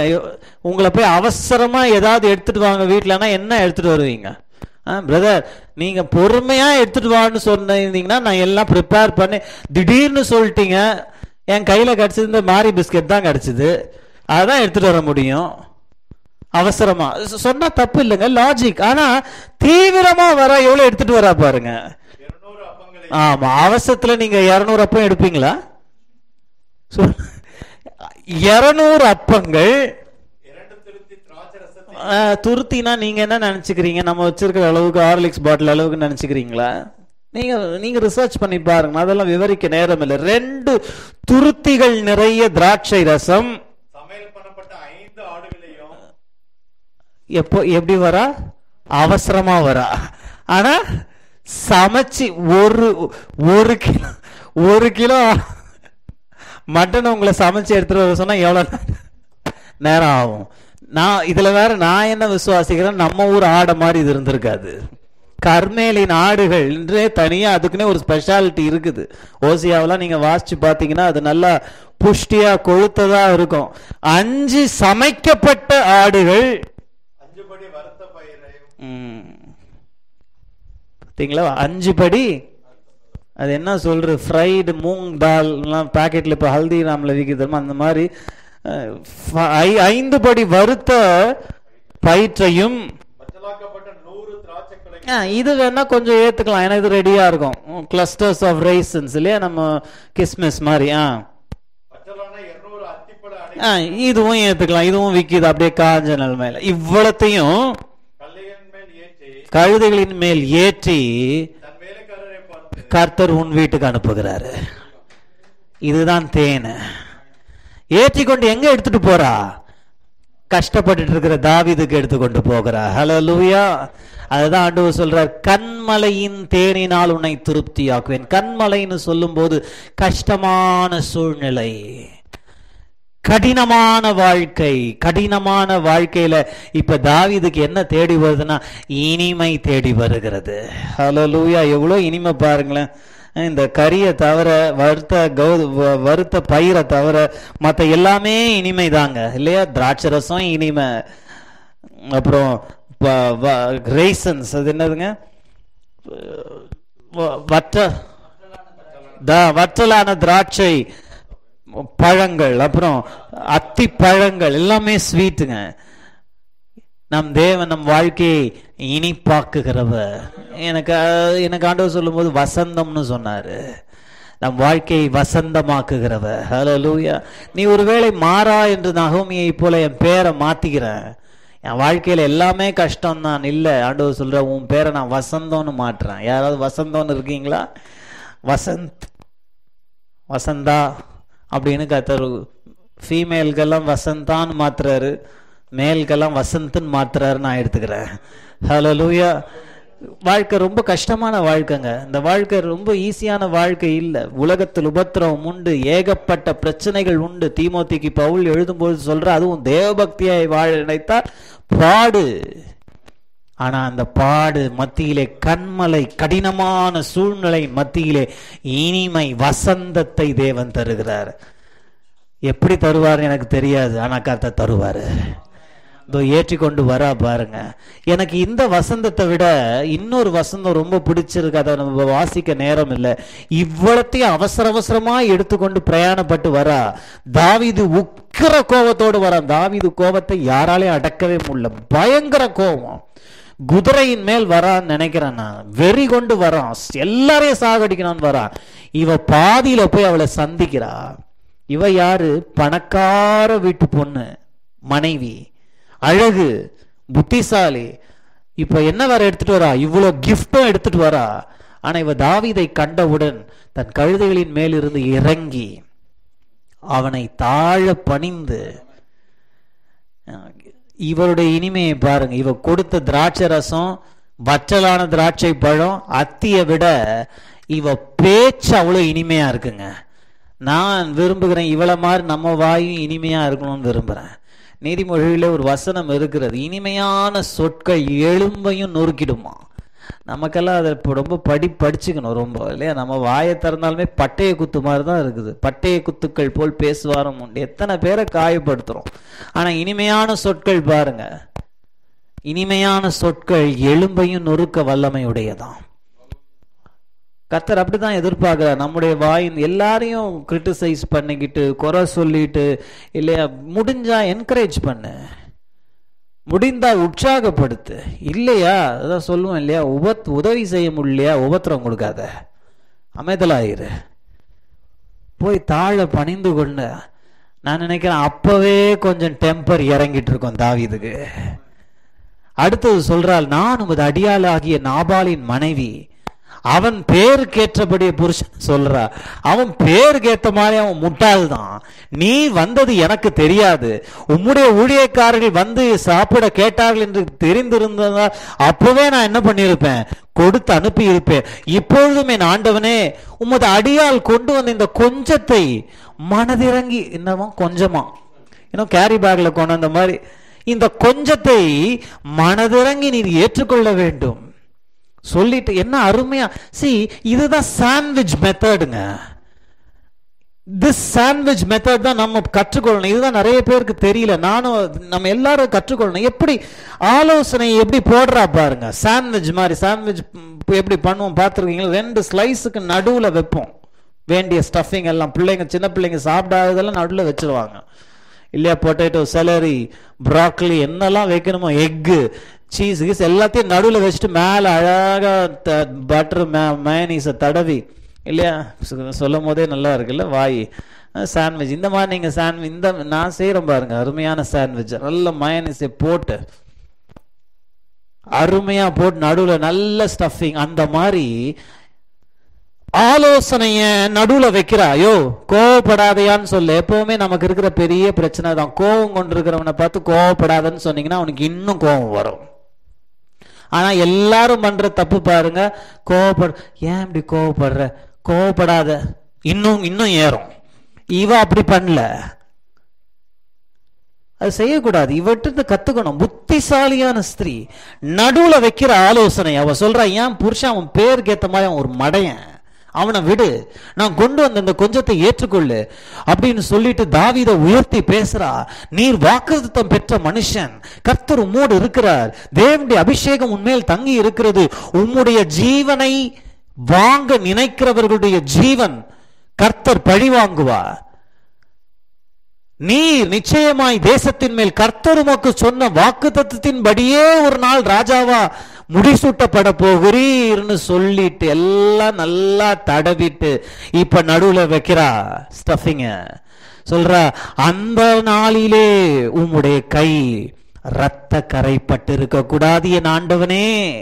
ஆகையால் உமது கோபத்தை விட்டு உக்கிரத்தை நெகிழ்ந்து அந்த மனுஷனை நீர் பழி வாங்காமல் தேவனுடைய கையிலே விட்டுவிடும் என்று சொல்லி முத அடியாளாகிய நான் கேட்டுக்கொள்ளுகிறேன். என்ன அருமையா ரெண்டு பக்கமும் தடுவி நடுவில் வச்சிட்டா. ஆலோசனைய. நாம சொல்லுவோமா அப்படி? ஏய் சொல்லிக்கிட்டே இருக்கிறேன். தெரில உனக்கு. ஐயோ. சொல்ல சொல்ல அதையே செய்து பாருது. அறிவில்லை உனக்கு. அவ்வளோதான் அவனுக்கு இன்னும் ஷூட்டப் ஆகிடும் இதுதான் நிறைய மனைவிகள் செய்கிற பிரச்சனை. இல்லையா? நிறைய புருஷர்கள் செய்கிற பிரச்சனை நிறைய தாய்மார்கள் செய்கிற பிரச்சனை நிறைய பிள்ளைகள் செய்கிற பிரச்சனை. எல்லாம் நம்ம எல்லாம் இதுதான் பண்ணுவோம். ஆனால் நான் இது இதை பாசிச்சு வாசி ஆண்டவரே நான் இந்த மாதிரி ஆகணும் ஆண்டவரே. ஏன் பிரதர் அபிகாயில் மாதிரி ஆகணும்னு நினைக்கிறீங்க? அவர் ஃபீமேல் கேரக்டர் நான் சொல்லட்டுமா? பர்சு தாவியானவர் மூன்று சபைகளுக்கு கடிதத்தை எழுதும்போது இந்த முறையை தான் பயன்படுத்தினாரு. சபைகளை நேர நேரடியாக கிழி கிழி சில பேர் சொல்லுவாங்க பிரதர் கிழி கிழின்னு கிழிச்சு தொங்குற மாதிரி ஒரு மெசேஜ் கொடுங்க. அதுக்கு வேற யாரையாவது பாருங்க ஆளை. நான் வர மாட்டேன் ஜனங்களை உலுக்கி எடுக்கணும். அது நீயே உழுக்கு அவங்க ஊருக்காவா? அதுக்கு நான் வர மாட்டேன் ஏன்னா இவங்க என்ன நினைச்சுக்கிறாங்கன்னா நம்ம எலியா எசேக்கியல் எரேமியா தீர்க்கதரிசின்னு மனசுல நினைச்சுக்கிறாங்க. ஏசு இப்படிப்பட்டவர்களை பார்த்து கேட்பாரு நீ என்ன ஆவி உடையவன்னு கேட்பாரு நீ கிறிஸ்துவின் ஆவி உடையவனாயிருந்த புதிய ஏற்பாட்டு தீர்க்கதரிசிகள் பழைய ஏற்பாட்டு தீர்க்கதரிசிகளை போல் பேச வேண்டிய அவசியம் இல்லை புதிய ஏற்பாட்டின் தீர்க்க தரிசன ஊழியம் முற்றிலும் மாறுபட்டது. வெளிப்படுத்தின விசேஷத்திலே வேதம் சொல்லுகிறது தீர்க்க தரிசனத்தின் ஆவி இயேசுவின் சாட்சியை உடையது. பழைய ஏற்பாட்டின் காலத்தில் இயேசுவை குறித்த சாட்சி அவர்களுக்கு வெளிப்படையா இல்லை நிழலாட்டமா இருந்தது. அதனால அவங்க அப்படி பேசினாங்க. இன்னைக்கு கர்த்தர் நமக்காக எல்லாவற்றையும் சிலுவையில சுமந்து தீர்த்தாரு. அதனால இப்ப பிரசங்கமே வேற. பழைய ஏற்பாட்டு தீர்க்கதரிசிகளை போல ஜனங்களை கிழிச்செல்லாம் தொங்கெல்லாம் விட முடியாது. இப்போ அந்த- அந்த சப்ஜெக்டுக்கு தான் நான் வரேன். வெளிப்படுத்தின விசேஷத்துல மூன்று முதல் மூன்று அதிகாரங்களை வாசிச்சு பாருங்க. ஏழு சபைகளுடைய வாழ்க்கையிலையும் குறை குற்றங்கள் இருந்தது. ஆனா எப்படி ஆரம்பிக்கும் பாருங்க. ஏய் சரியில்லாதவனேன்னு சொல்லல. அழகா ஆரம்பிப்பாரு. முதல்ல அவங்க கிட்ட இருக்கிற நல்லதெல்லாம் சொல்லுவாரு. அவங்க கிட்ட எதெல்லாம் அழகா இருக்கோ அதெல்லாம் சொல்லுவாரு. அவங்க கிட்ட என்னெல்லாம் பாசிட்டிவா இருக்கோ அதெல்லாம் சொல்லுவாரு. First appreciation motivation and then will come the counsel நடுவில் என்ன பண்ணுவாரு? ஆகிலும் உன்னிடத்தில் சில குறைகள் இருக்கிறது. பார்த்துருக்கீங்களா? வாசிச்சிருக்கீங்களா? ஆகிலும் உன்னிடத்தில் எனக்கு கொஞ்சம் வருத்தம் இருக்குது. நீ இந்த சாத்தானுடைய ஜனங்கள் மத்தியிலே இருக்கிறார்கள். எசபேலுடைய ஆவி உன் உன்னிடத்திலே கிரியை செய்ய விட்டு இப்படி சில விஷயங்களை நடுவில் ஆட் பண்ணுவாரு. நீங்க ஏன் லவோதேக்கியா சபையை கூட வாசிச்சு பாருங்க. ஆரம்பிக்கும் போது நல்லா ஆரம்பிப்பாரு. நடுவில் ஆலோசனை வைப்பாரு. முடிக்கும் பொழுதும் அவங்கள என்ன பண்ணுவார்? மறுபடியும் பில்டப் பண்ணி முடிப்பார். அதுதான் சாண்ட்விச் டெக்னிக் அதை தான் அபிகாயில் பின்பற்றினாள் எல்லாத்தையும் சொல்லிட்டு அவ சொல்கிறா ஆண்டவன் என் காணிக்கையை ஏற்றுக்கொள்ள வேண்டும். உ- விட்டு திரும்பி போ. அந்த மடையனை ஆண்டவர் பார்த்துக்குவாரு அப்படின்றா. இப்போ வரும்போது எப்படி வந்தார்? அலெக்சாண்டர் த கிரேட் மாதிரி வந்தார். நாளைக்கு ஒருத்தர் இருக்க மாட்டான்டா வீட்டில் வந்தோம் அப்படியே இறங்கிட்டாங்க. குதிரையை விட்டு கீழே இறங்கிட்டான். முதல்ல அவன் அழக பார்த்து அவன் மயங்கினான். ரெண்டாவது அவருடைய வாயின் வார்த்தைகள் இனிமையிலும் இனிமை. அவன் சொல்றான் இன்றைய தினம் கர்த்தர் உன்னை அனுப்பாமல் இருந்திருப்பாரே ஆனால். அததான் தொண்ணூத்தி ஓராம் சங்கீதம் சொல்லுகிறது. உன் வழிகளிலெல்லாம் உன்னை காக்கும்படி அபிகாயிலை கர்த்தர் அனுப்புவார். ஹalleluya அதுதான் தேவ தூதர்கள். என்ன பிரதர் அபிகாயில்ன்ட்டீங்க. அதுதான் தேவ தூதர். நீங்க ரக்கையை வச்சு வரும்னு நினைச்சா வராது. தேவ தூதர்கள் ஆபரகாமின் நாட்கள் எப்படி வந்தாங்கன்னு வாசிச்சு பாருங்க. மனுஷரை போல வந்தாங்க. அவன் சொல்றான் தூதனை போல இன்றைக்கு வந்து என் கையை ரத்த கரை படையாதபடி நீ கத்தர் உன்னை கொண்டு கத்தர் என்னை காத்தா. ஆகையினால் நீ சமாதானத்தோடு போ உன் ஆலோசனையை நான் ஏற்றுக்கொண்டேன்னு சொல்றான். பெரிய மனுஷங்க. இப்ப இவளும் என்ன பண்றா? சமாதானத்தோடு வீடு திரும்புறா. வீட்டுக்கு வந்தவொடனே அந்த மடையை இன்னும் போதை தெளியல. அதனால என்ன பண்ண நான் சொல்லுங்க அவ தான் சொன்னா. என்ன அப்படி பார்க்காதீங்க. ஃபுல் போதையில் இருக்கிறார். அதனால ஒன்றும் சொல்ல படுத்துட்டா. மறுநாள் காலைல எந்திரிச்ச உடனே போதை தெளிந்த உடனே கேட்டிருப்பான் போல இருக்கு. எங்கே போன நேற்று அவனும் ஆளை காணுமே பார்ட்டியில். மிஸ்ஸிங் இல்லையா? கேட்டிருப்பான். கேட்ட உடனே அவ சொன்னா என் கைக்கு நேரிட்டு தான் ஏதோ எடுத்துட்டு போய் கொடுத்தேன்னு லிஸ்ட் போட்டா பாருங்க. அதை கேட்ட உடனே அந்த மடையனுக்கு இருதயம் உறைந்ததுன்னு சொல்லப்பட்டிருக்குது. ஏன்? அடிப்பாவி கைக்கு நேரிட்டது இவ்வளவா? அவசரத்துக்கு அஞ்சு அஞ்சு ஆட்டை சமைச்சு எடுத்துன்னு போனியா? அப்படியே இருதயம் உறைந்தது. வேதம் சொல்லுகிறது கர்த்தர் அவனை அடித்ததினால் பத்து நாட்கள் கழித்து அவன் செத்தான். தாவீதின் பட்டயம் தாவீதின் கை அவனை கொலை செய்யவில்லை. கர்த்தர் பழி வாங்கிப்பான் இந்த மாலை நேரத்தில் தாவீதுக்கு அபிகாயிலின் மூலமாய் அபிகாயில் எப்படி வந்தா? கண்மலையின் தேனை போல வந்து அவ வார்த்தை மாத்திரம் இல்லைங்க செயலிலும் செய்தாள். இந்த வாழையிலே உச்சிதமான கோதுமையும் கண்மலையும் தேனினாலும் சவுலையும் தாவீதையும் கத்தர் போஷித்தது போல நம்மையும் போஷித்து நடத்த போறார். நீங்க விசுவாசிங்க உங்க வழியில யாராவது கத்தர் அனுப்புறாரா இல்லையா பாருங்க. அபிகாயில் மாறி வந்து நம்மள அழகா தப்பான வழியிலிருந்து கத்த திசை திருப்பா நீ போற பாதை சரியில்லை. ஏன் இங்கேயே உங்களை எத்தனை தடவை கத்த சீர் சீர்திருத்தி இருக்கிறாரு இல்லைங்களா? நீங்க ஏதோ ஒன்று செய்யணும்னு இல்லை இல்லை இதுதான் முடிவுன்னு வந்திருப்பீங்க. கத்தருடைய வார்த்தை உங்களை மாற்றி இருக்கும். அதுதான் சபைகளுக்கு தேவன் கொடுக்கும் தூதன். நீதான் சபை நான் தான் சபை. இல்லையா? அது தூதர்கள்லாம் இருக்கிறாங்க. நான் இல்லைன்னு சொல்ல ஆனால் பொதுவான முறையில் இப்படிதான் கத்தர் இடைப்படுறாரு. நீங்க விசுவாசிச்சீங்கன்னா நான் ரொம்ப ஆழமா விசுவாசிக்கிறேன். நான் ஏதோ ஒரு அபிகாயிலை சந்திக்க போகிறேன். அதுதான் எனக்குரிய தூதன். ஏன்னா நான் ஒரு பாயிண்ட்ல இப்ப நின்றுட்டு இருக்கிறேன் என்னுடைய வாழ்க்கையில ஒரு ஒரு ஒரு பாயிண்ட்ல நின்றுட்டு இருக்கிறேன் எனக்கு சில விஷயங்கள் எனக்கு சில காரியங்கள் நேரிட வேண்டும். எனக்கு சில காரியங்கள் சம்பவிக்க வேண்டும் என்கிற ஒரு ஒரு பாயிண்ட்ல நின்றுட்டு இருக்கிறேன் இந்த நேரத்துல எனக்கு அபிகாயில் என்ன பண்ணணும்? கத்தர் அனுப்புகிறார் என்று நான் விசுவாசிக்கிறேன்.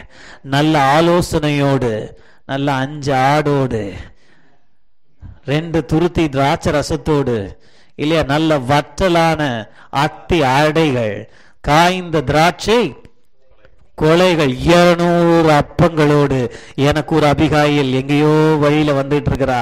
நானும் வழியில போய் சந்திக்க போகிறேன் என்று விசுவாசிக்கிறேன். நீங்க விசுவாசிங்க உங்க வழியிலேயும் இப்படி யாரையாவது கத்துற அனுப்புவாரு. உன் வழியிலே கத்தருனை காத்துக்கொள்வோம்